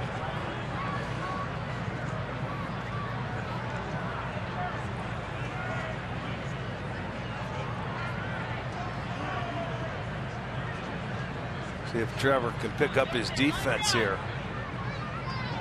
with two outs. He might have chased one that time. Fastball that was riding up out of the zone, one and two.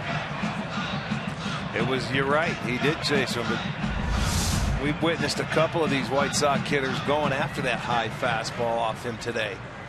Helping him out, expanding the strike zone.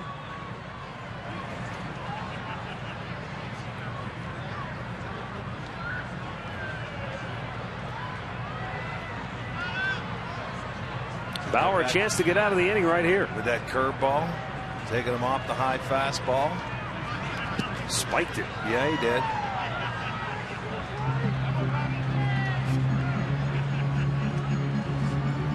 And it's two and two.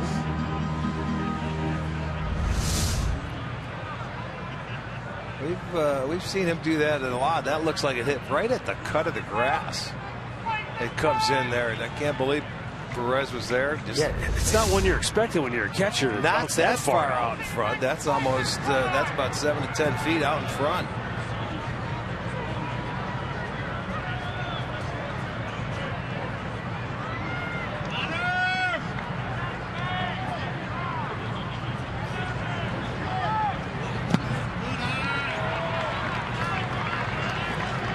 Gillaspie wouldn't bite. Now it's a full count.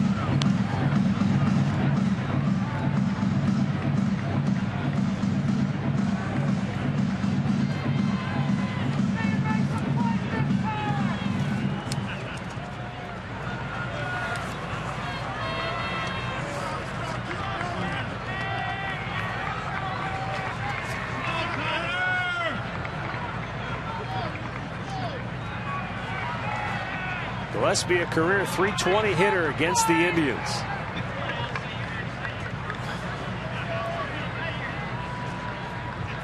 Bauer wants to start all over again with the sides. To shake him off a couple of times, or he knows what he wants to throw. He already shook yes once.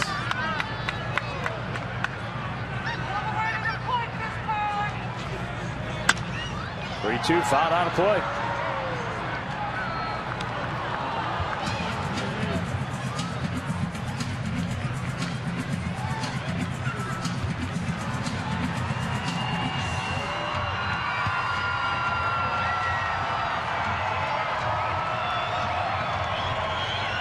Bauer retired the first 11 White Sox hitters in a row to start the game. Then four straight reached safely with two out in the fourth, accounting for the Sox only run. Now the tying run in scoring position here in the sixth with two outs. And the 3 2, strike three called. Bauer locks up Gillaspie to end the inning. He's fan five, and through six, the Indians lead it two to one.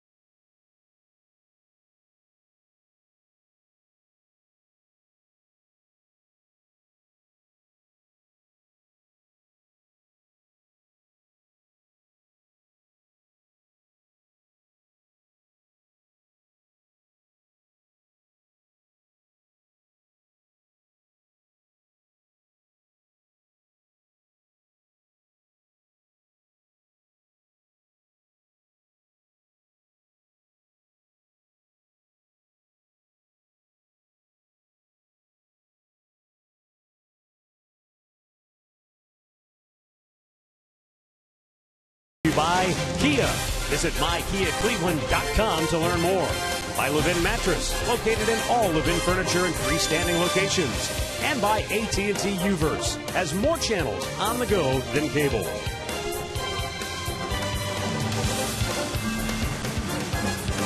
Two one Cleveland. Seventh inning. There's infield coach Mike Sarbaugh talking to Ramirez right there. How to catch that ball and go for the double play where he was trying to do it on the run. And he was late getting there to begin with.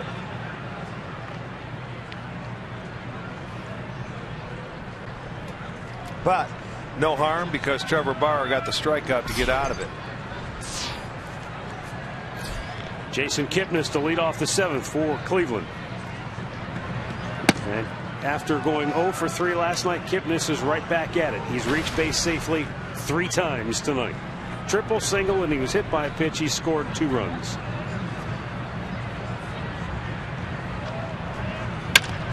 Smashed to short.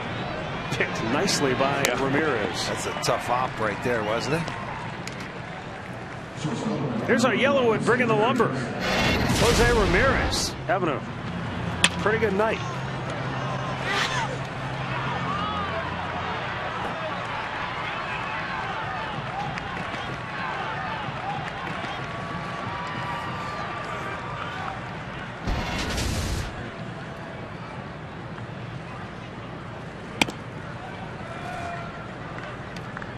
Walked and stole a base in the first inning.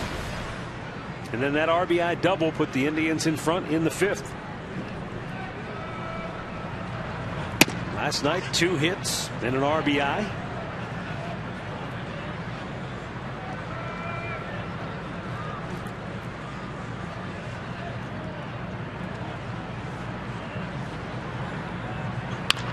And a chopper to short. Ramirez on the move. Low throw, but dug out by Abreu, two away.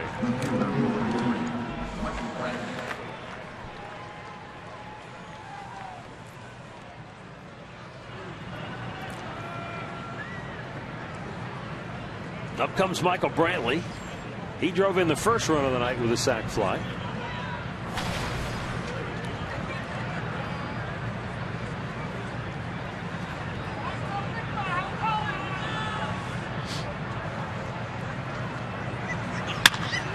Smashed foul, boy. Hit that one hard. But just wide of the first base bag.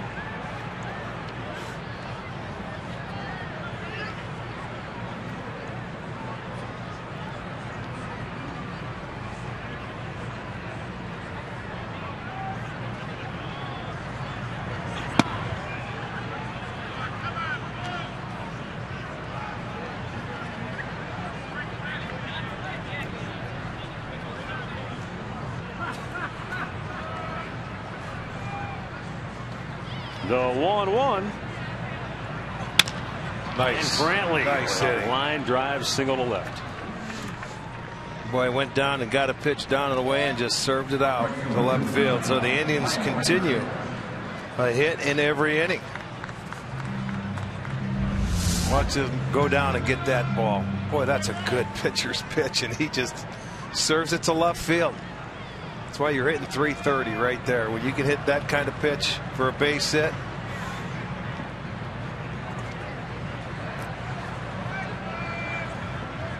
Look at Kent, Quintana cannot believe it.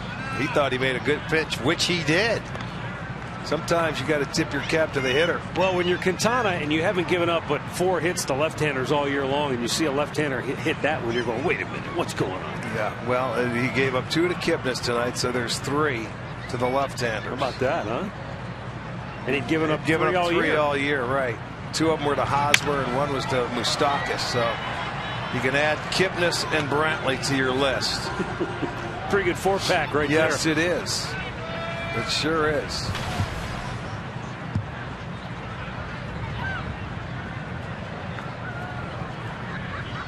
Ryan Raburn, a base hit in the sixth inning. That led off the inning. But he was ultimately stranded at third.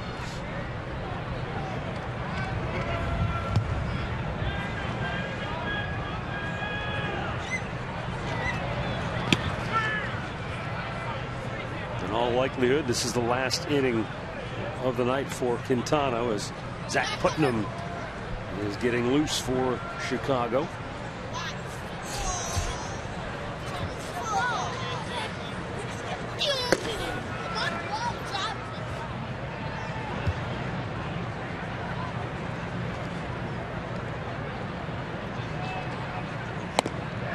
Chased one up high, one and two.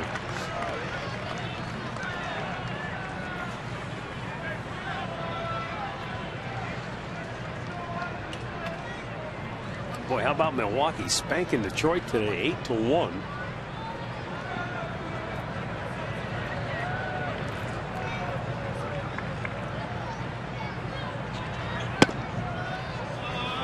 St. Louis lost in 14 innings to the Mets, two to one last night. They took out a little uh, frustration maybe. Yeah, they come back today 10-2 winners.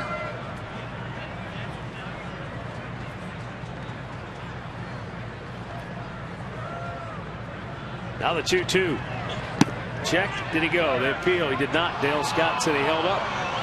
Full count. That'll give Brantley a chance to take off at first. Ooh, Might have caught a break. Yeah, I think so.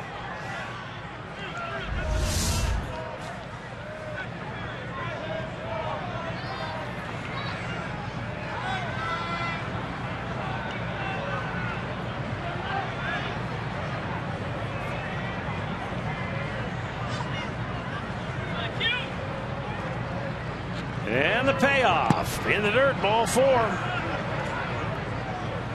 So Ventura with a decision to make, and he's made up his mind already. Switch hitter, Nick Swisher coming up. And they're going to turn him around to the left side and bring in Zach Putnam. Jose Quintana goes six and two thirds innings. Let's make sure he's going to make. The, he hasn't made the move yet. He might. Maybe he's going to stick with him here. I don't know. I think he's going to stay with him. Yep. Well, he did. You don't see that happen too often anymore, do you? Not with the not when the manager goes out, but you know he might have just wanted to go out there and look in his eyes and see if he had anything left. Sometimes managers will tell you, "I went out there, I hadn't made up my mind. I just wanted to look in his eyes and see if he still had some fight, had some fire left, or if he was tanked." And obviously, he liked what he heard and what he saw. Well, and Swisher's been on twice today. The single, he walked once and also grounded to short. Indians leading it by a score of two to one here in the seventh inning. And with two down, they've got two aboard.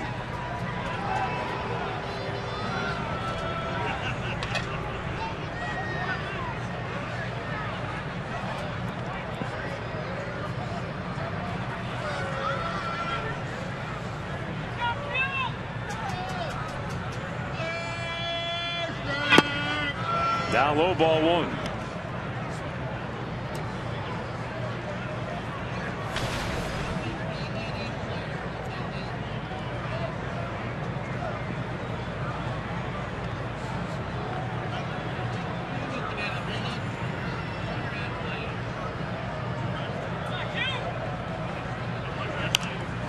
Pop back out of play. Give that young lady credit. She went up there bare hands and all and tried to catch that foul ball. Oh boy, be getting out of the way. I wouldn't even gone after with gloves on.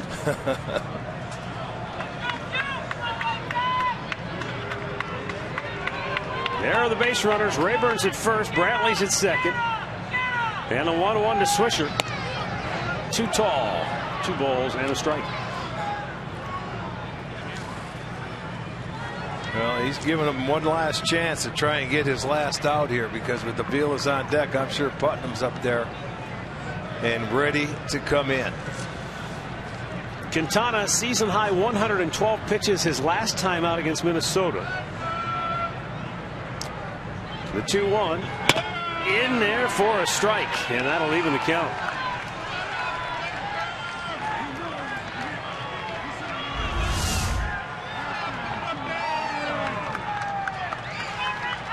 Not happy with that call. second at bat in a row for him where it's gone potentially from 3 1 to 2 2 based on that call. And both times it's gone against him. Now, last time he was able to wait out the pitcher and draw a walk. Now the 2 2, and he strikes him out. Good fastball. Quintana gets out of it. Indians strand a pair. We've reached the seventh inning stretch with the Indians leading it 2 to 1. Stretch time brought to you by Spitzer Auto World.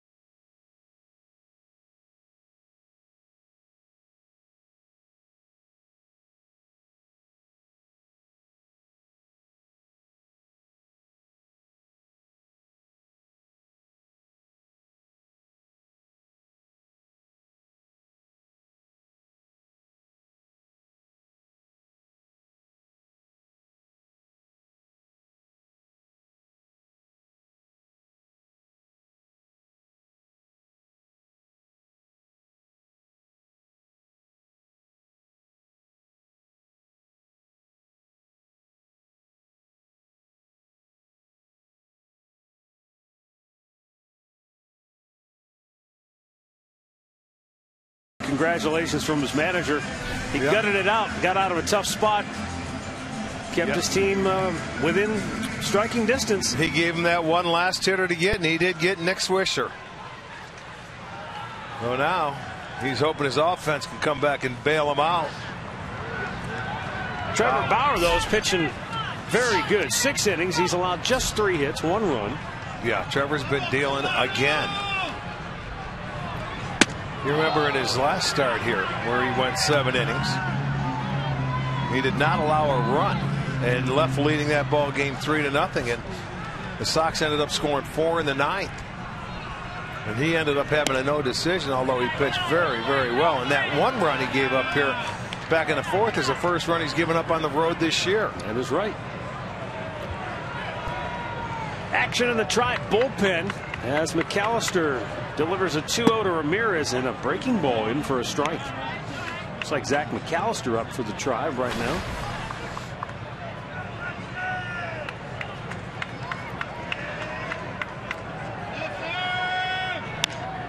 Popped up. Maybe playable if Moss can get there. Oh, what a play. Had to reach out. Wasn't quite sure where he was in terms of how close he was to the side rail. One down here in the seventh. Yeah. There again, those two guys on the course today, both Moss and Aviles, they get some time in the outfield, so it's a little different for them when they're on the corners because they can take their eye off the ball and go down and take a peek. They get used to it a little bit because you have to cover some ground in the outfield. The key is getting over to those bleachers or the, the Yeah. seats as quickly as you can. Tyler Flowers ropes it foul.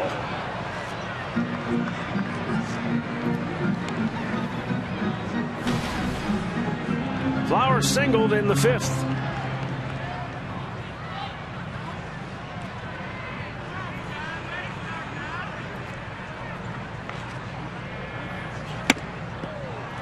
Good fastball, threw it right by him 0 2. He's had a good fastball tonight.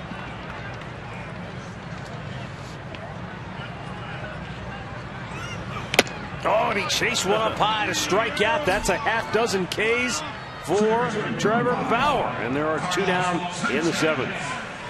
He's been able to elevate his fastball tonight and get some swings and misses at pitches that really are, are not even near the zone, but some of the Sox hitters have gone after it and come up empty. So out number two here in the seventh.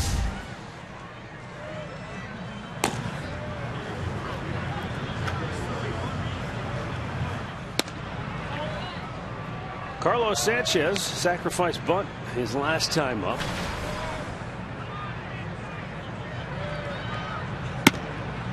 And a fastball strike evens the count.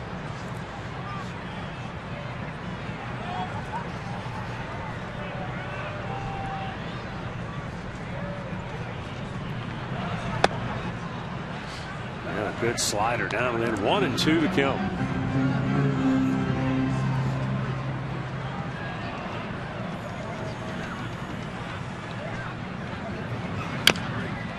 Breaking ball pulled foul.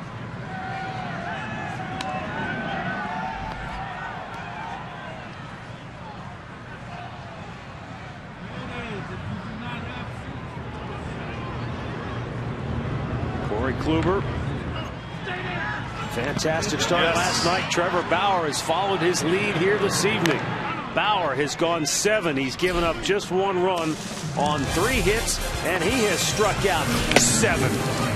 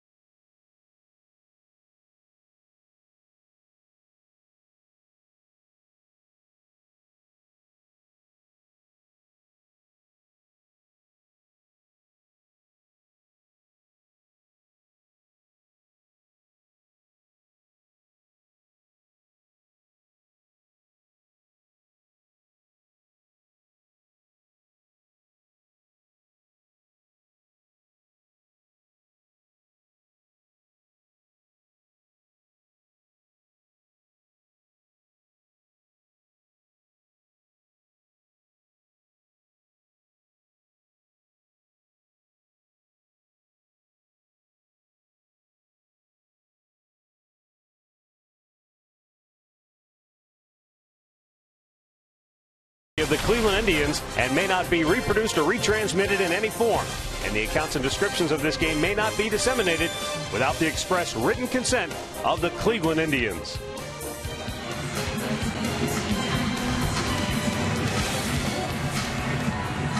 Two one Indians. Eighth inning. And the Cleveland Clinic call to the bullpen is for Zach Putnam. Who comes on in relief of Jose Quintana. Quintana went seven.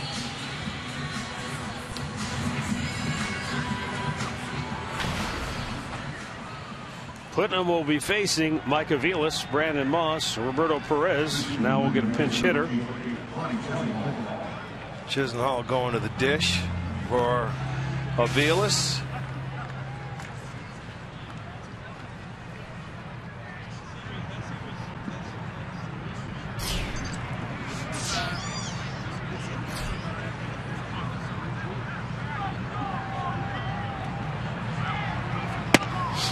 Fastball for strike one.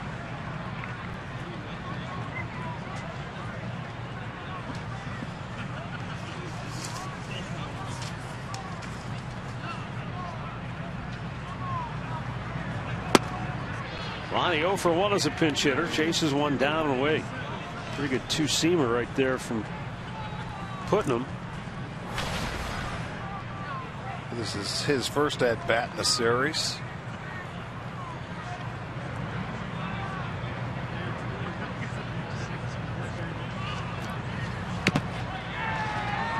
Did he foul it? Yes, he did.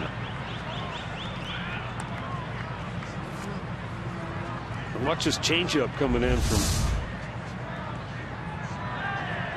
Yeah, he throws that, I think, like a splitter, too. Just got a piece of it to stay alive. They do have a left-hander up and loose and ready in the bullpen.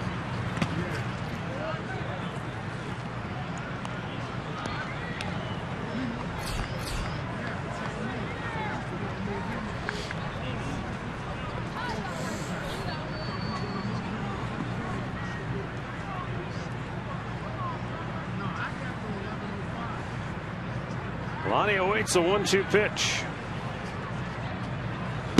Chased one down, and Putnam strikes him out. Boy, he just persistence. He stayed right with that pitch, and finally got Lonnie to strike out.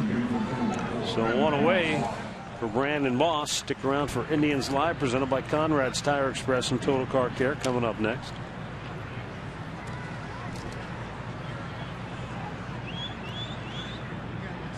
Moss is 0 for 3.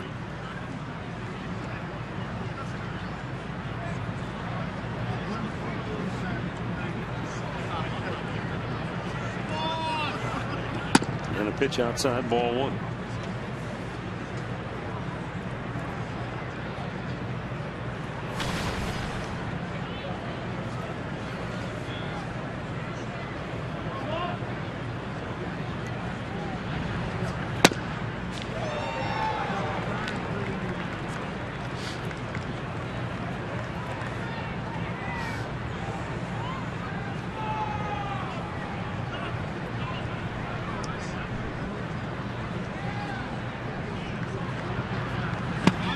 Putnam's just going to keep throwing it if they keep swinging. Well, there's no doubt. I mean, that's his uh, his bread and butter.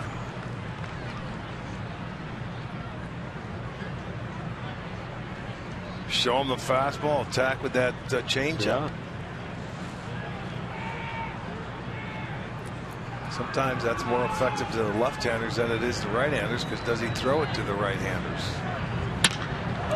He got that one up, and Moss got it up, up, up, and away. Brandon Moss with a big home run for the tribe here in the eighth inning, his sixth on the year, and it makes it a three to one Indians lead. Wow, he just got done saying he's just going to keep throwing that split change down and out of the strike zone. Instead, he went back and challenged him, and Moss Well, crushed it. Wanted to go up above, up letter high, but I'll tell you what, Brandon Moss was able to get to that baseball, and he smoked it. They thought they had the right pitch in that situation, but uh, I, I guess it wasn't high enough. You got to give Moss credit. He went up top and hit a high fastball, got on top of it, and hit his sixth home run.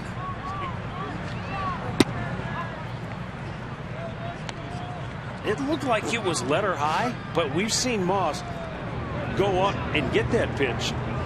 He likes to, to swing. You know, you think about left-handed hitters, most of them how they love to go after the, the ball down. Yeah. He likes to get up and look Well, at this look- pitch. This is almost right at the letters. It looks like it's above, but he really had a short. He, you see where the barrel head of that bat got to the baseball quickly. He didn't go around it. It came straight down and hit it high. Well, that's an insurance run. Desperately needed.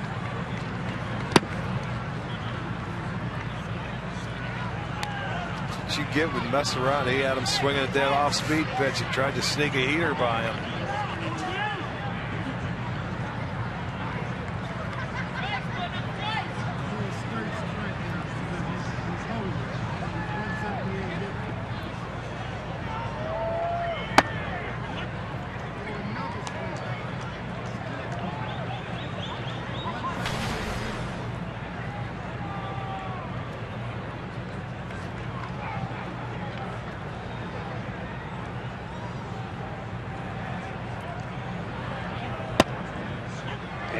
full count for Roberto Perez.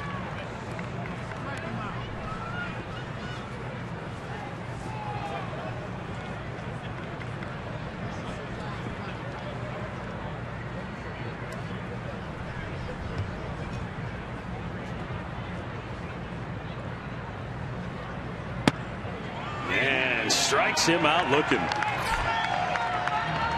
Putting him with his second strikeout of the inning.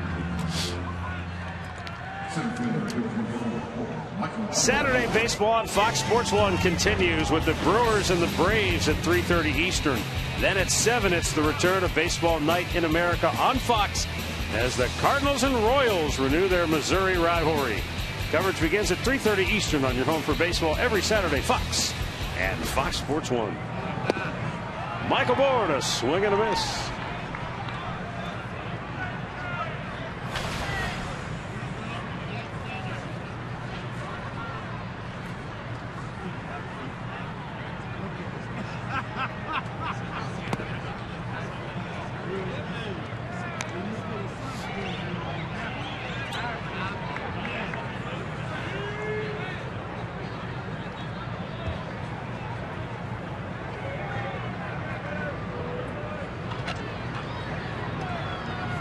Now the 1 1 to Bourn. Just off the plate.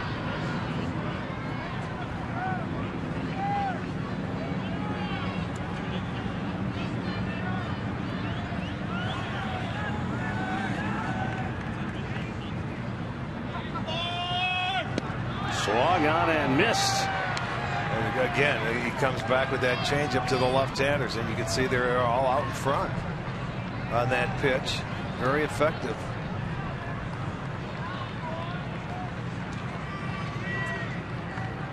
And the 2 2. Full count.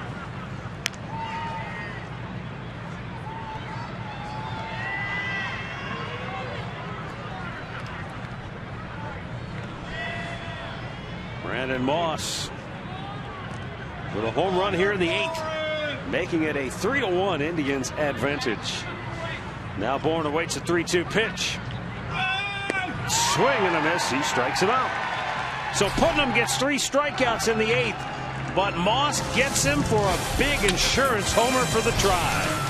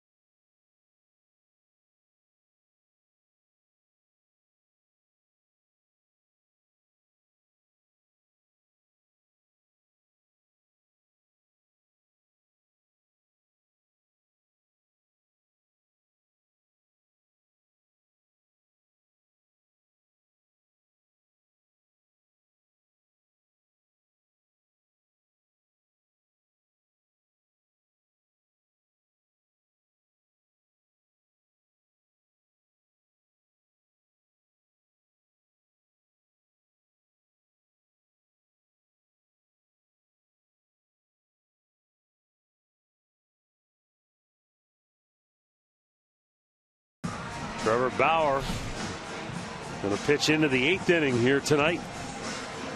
Lonnie Chisenhall takes over third after a hit from Mike Aviles. Top of the order for Chicago.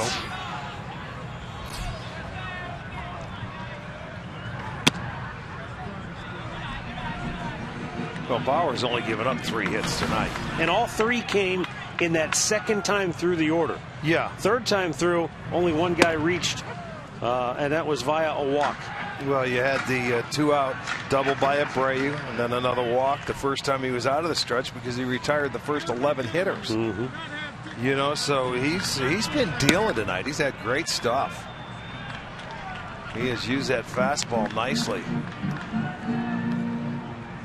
Haven't seen a lot of changeups with him uh, tonight. With the you know he's showing the left-handers a couple.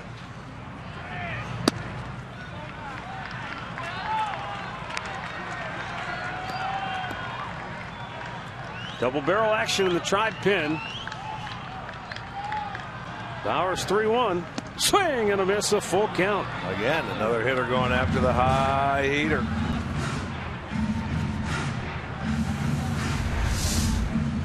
He's had probably a half a dozen swings on that fastball, letter high today. Swings and misses. And a line drive base hit into center by Eaton on the 3 2 pitch. You know what? He, it's almost like he went right back up there with the same pitch, but Eaton was ready for it. He didn't miss this one. He went up and he got on top of it. That's almost the exact same pitch if you look at it.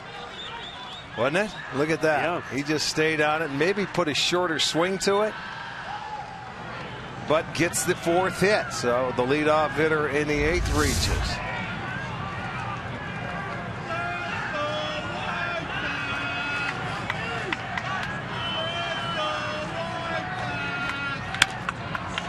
Melky Cabrera pops it out of play to the left.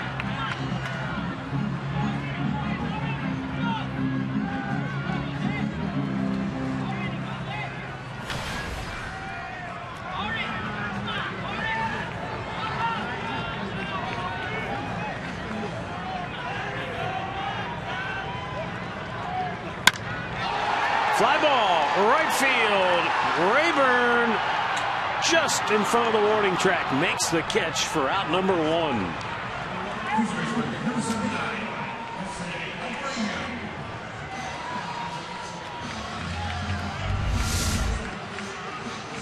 Well, he got a high fastball, a little above the belt. He got it, but not good enough to get it out of here tonight. Francona's going to make the move. Going to the bullpen. Bauer's night will come to an end after seven and a third innings. And Zach McAllister, no, it's Brian Shaw who will be coming on when we come back.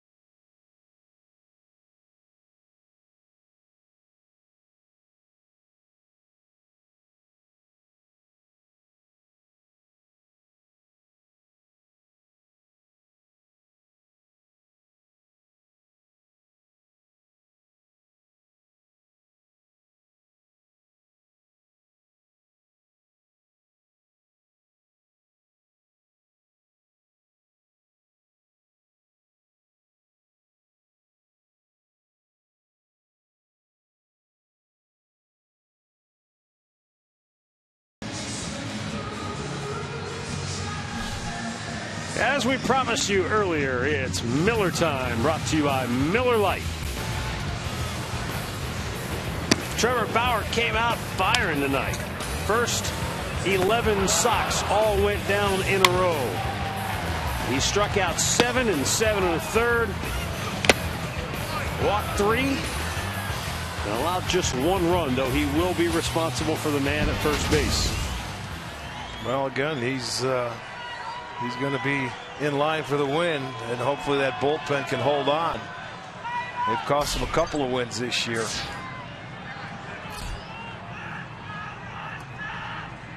Brian Shaw with the first pitch strike to Jose Abreu. Abreu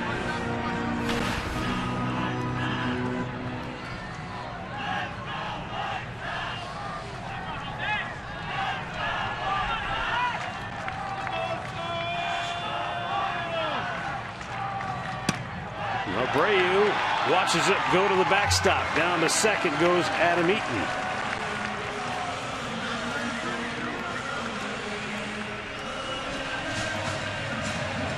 That'll be a pass ball. Right there, that ball cuts and just cuts away from Perez. Didn't stay with it. You can see he's upset with himself. Almost looked like maybe he was looking at the runner, took his eye off that pitch at the last moment. Well, he wasn't going anywhere. I know. Yeah, Eaton never took off until the ball got by.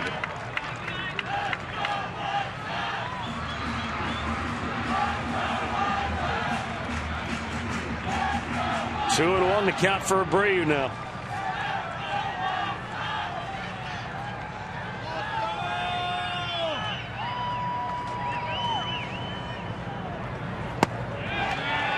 That's outside and in the dirt. Three balls in the strike.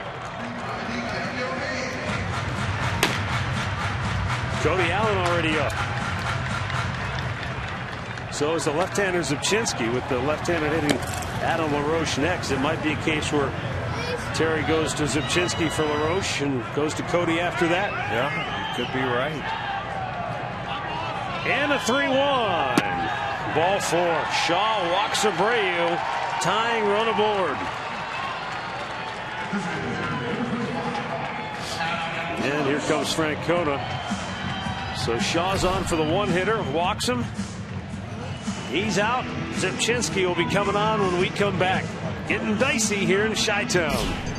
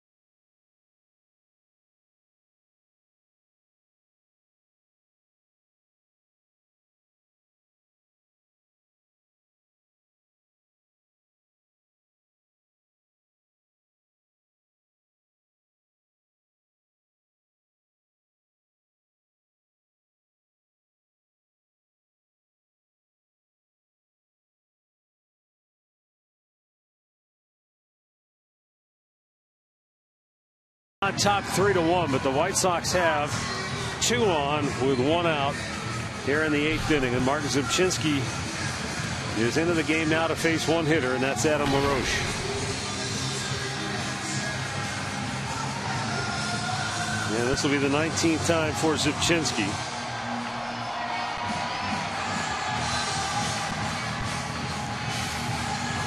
Well, they have the tying runs on base with one out.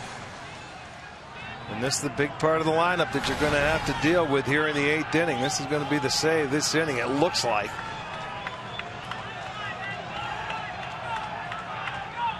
LaRoche has walked his last two times up.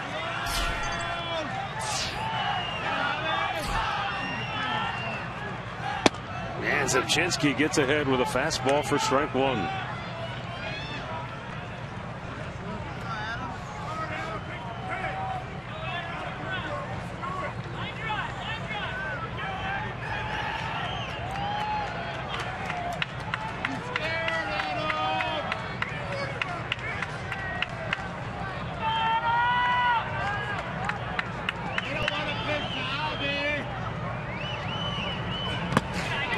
in the dirt.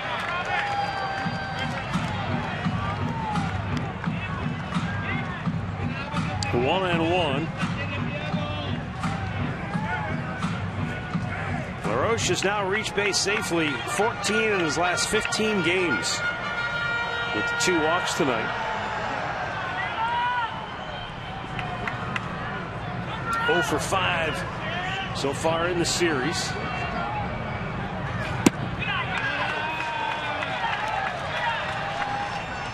It's now 2 and 1.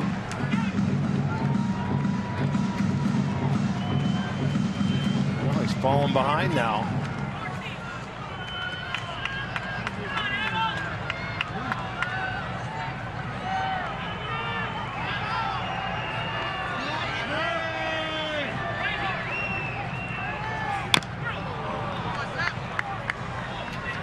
To even the two balls, two strikes.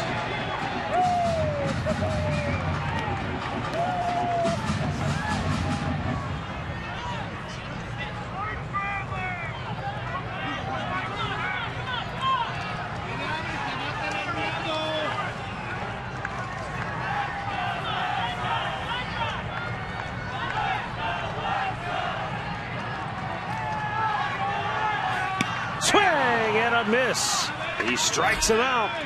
And there are two down in the eighth inning. And back comes Terry Francona. He's going to go to Cody Allen now to try to finish things off.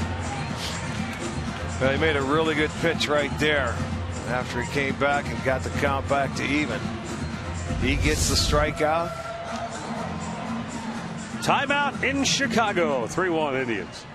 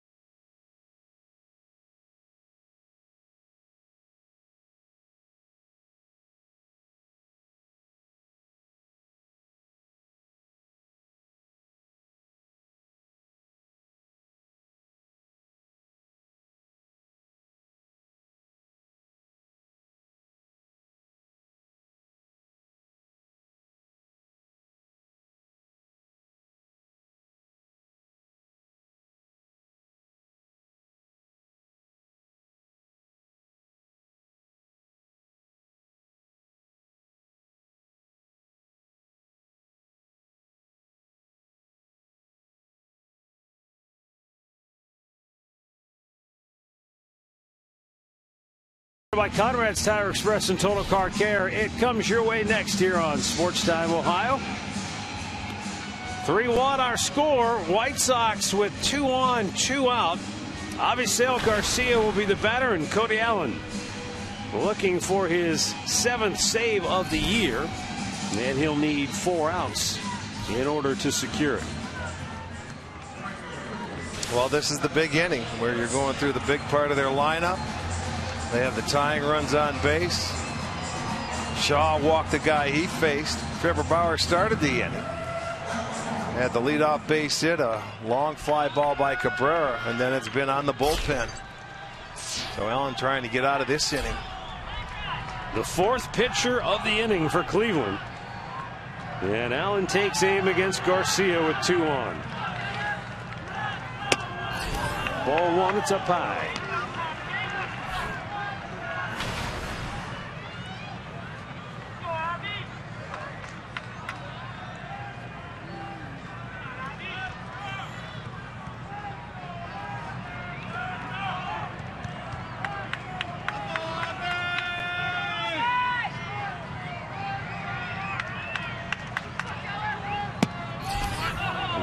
Cody Allen with a good fastball.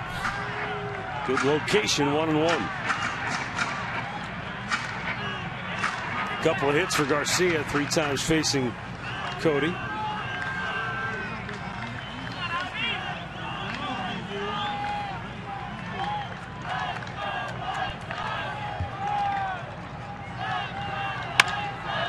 Shoots it the other way, but foul.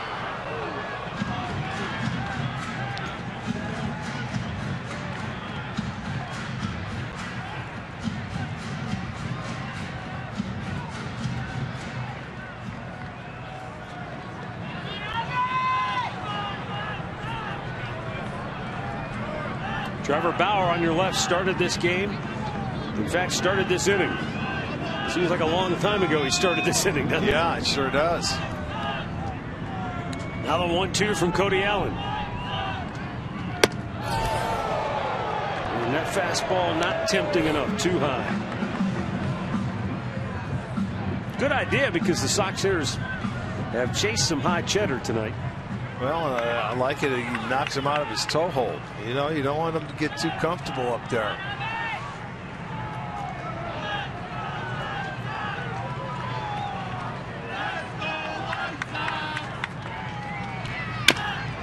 And that breaking ball got a piece of it. Yeah, he followed it up with a good breaking ball, and Garcia just able to get a piece to stay alive.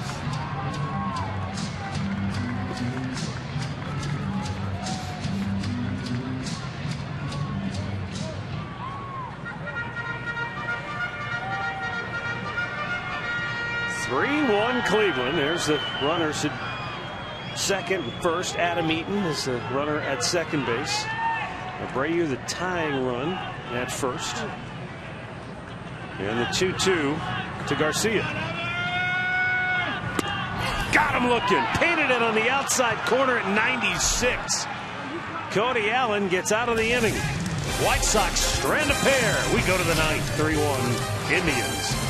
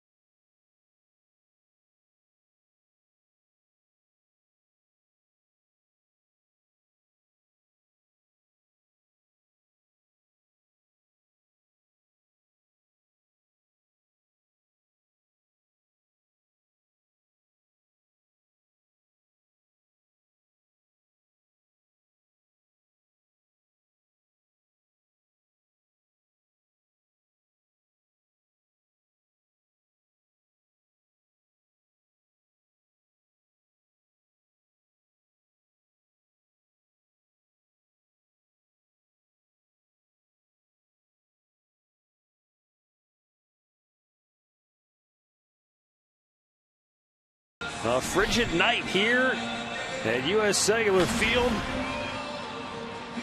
Left-hander Dan, or uh, yeah, left-hander Dan Jennings on 15th appearance of the year. You thought it was manager Dan Jennings on, huh? yeah, left-hander coming up. Jason Kipnis is going to lead off for Cleveland. Started his night with a broken bat fly ball to right field that Garcia came in on, went over his head for a triple. He fouled one off of his leg next time up, got hit by a pitch. Then he wrapped a single just over the glove of Alexei Ramirez and scored again. So he scored two of the Indians' three runs tonight. And he might he might be due for a, a long soak in a hot tub after this one. no kidding. Yeah, he's had a rough night on the body. And a strike call.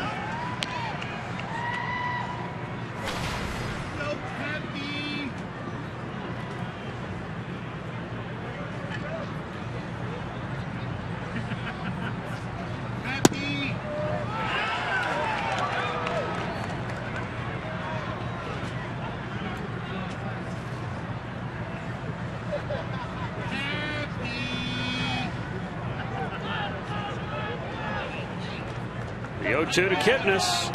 Yeah, that's a little bit low. Jason has hit in 10 of his last 11 games.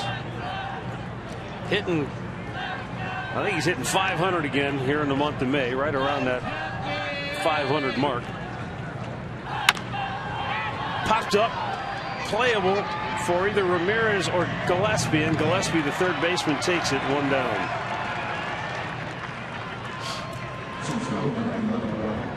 Let's look back at our keys to the game brought to you by Wayside Furniture. The Indians were able to,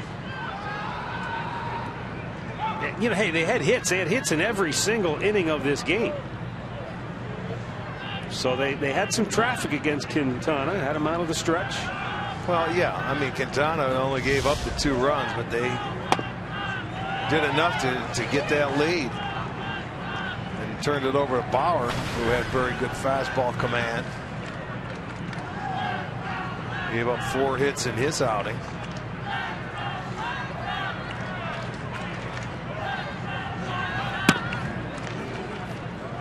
One ball, one strike. Two nights in a row, Jose Ramirez has driven in a run.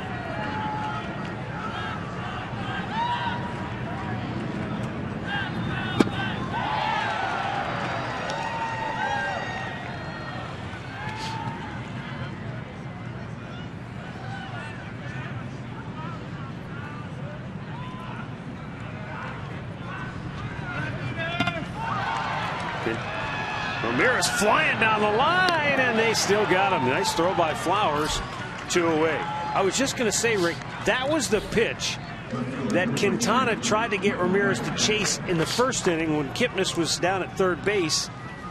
You know, they tried to get him, Right, to, and he right. didn't do it. He laid off and drew the walk.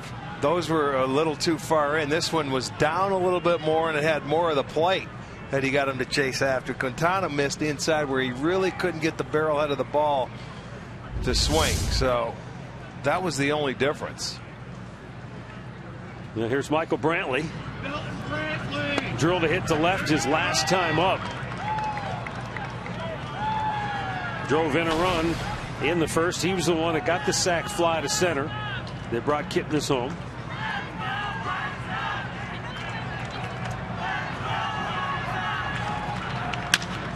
Going to left field again.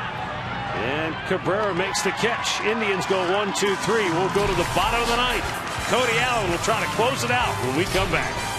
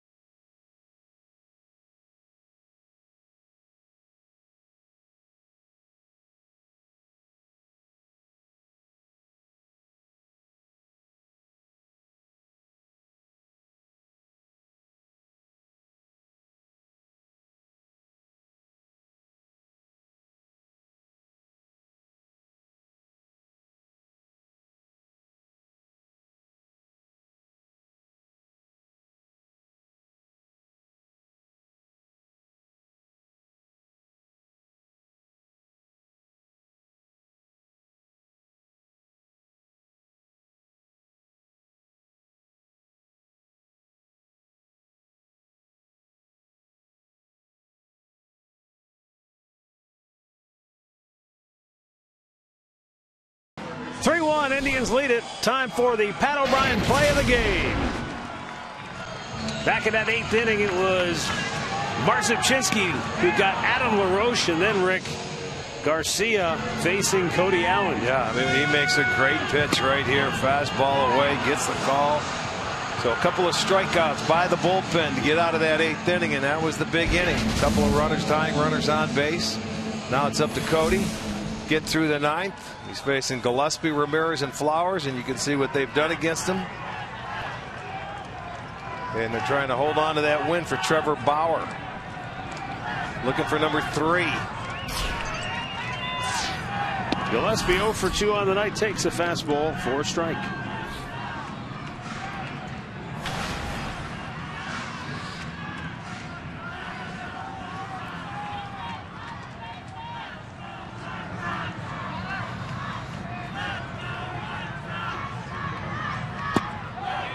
Chase it? No, he did not, says third base umpire Ron Kulpa.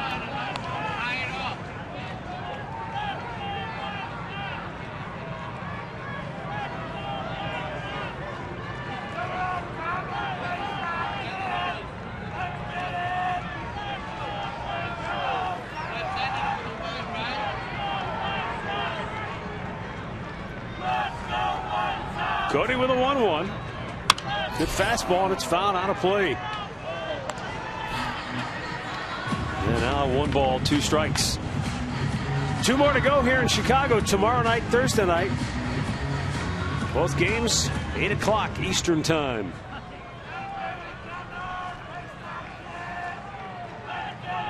Indians trying to snap Chicago's six game win streak. Up high. And it's 2 and 2.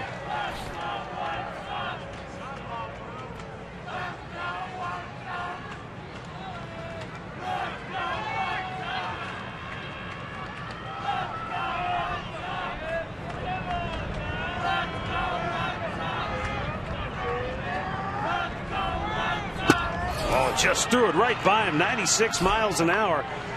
Well placed, too. It was on the outside part of the plate. And Gillaspie almost looked like a late swing because maybe he was just trying to reach out and get a piece of it, but it was by him.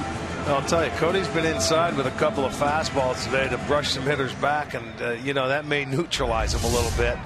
He comes back with that 96, and they have to wait a second before they can go out and get that ball.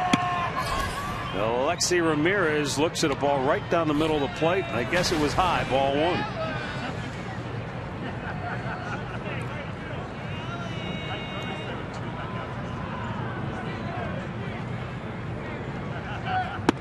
Oh, nasty breaking ball. And Ramirez takes a walk.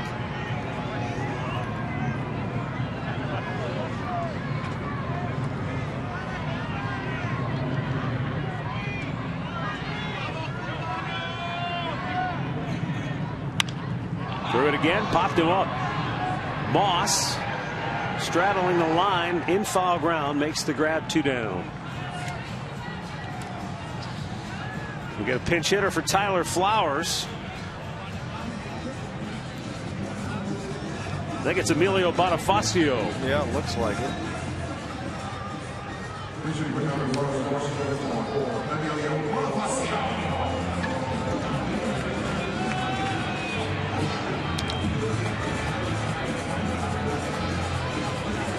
Was one for three tonight. Bonifacio will face Cody Allen with two down the bases empty, and the Indians leading it three to one. Bonifacio is three for ten as a pinch hitter on the year.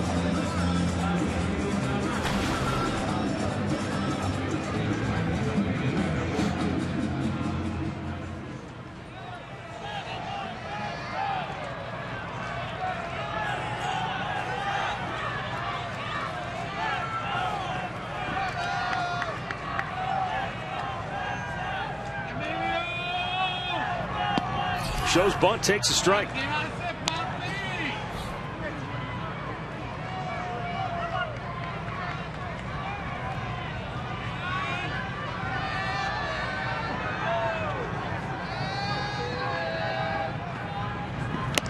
And threw it right by him. Again, he's he's rearing back now.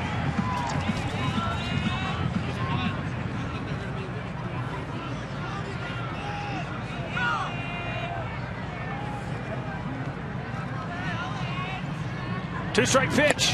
Swing and a miss. He strikes him out to end the ball game. Cody Allen gets the four out save, his seventh of the year as the Indians hang on to beat Chicago. Three to one, the final score. They even the series at a game apiece. Trevor Bauer gets the win. He goes to three and one. The loss to Jose Quintana, he goes to two and four. With the win, the Indians are now 15 and 23. Chicago falls back to 500 at 18 and 18 on the year. Terrific pitching tonight by Trevor Bauer. Can't say enough about the job he did. And obviously, you have to tip your cap to the bullpen, in particular, Cody Allen. And offensively, they did just enough against a guy who has been tough on them in the past, Jose Quintana. Well, they came back. They scored early in the first, and, you know, it was a chilly night. It was going to be tough to score anyway and, and, put a lot of hits together. And you're right, the bullpen came out, even though it did take four uh, pitchers to get three outs in that eighth inning. That's where the big save came in, and Cody Allen came in. He was throwing the ball outstanding. So the Indians win it. Series even at a game apiece with two to follow here in Chicago. Stay tuned for Indians Live presented by Conrad's. Andre will talk with Brandon Moss, who hit a big home run tonight for Cleveland. That's coming up next.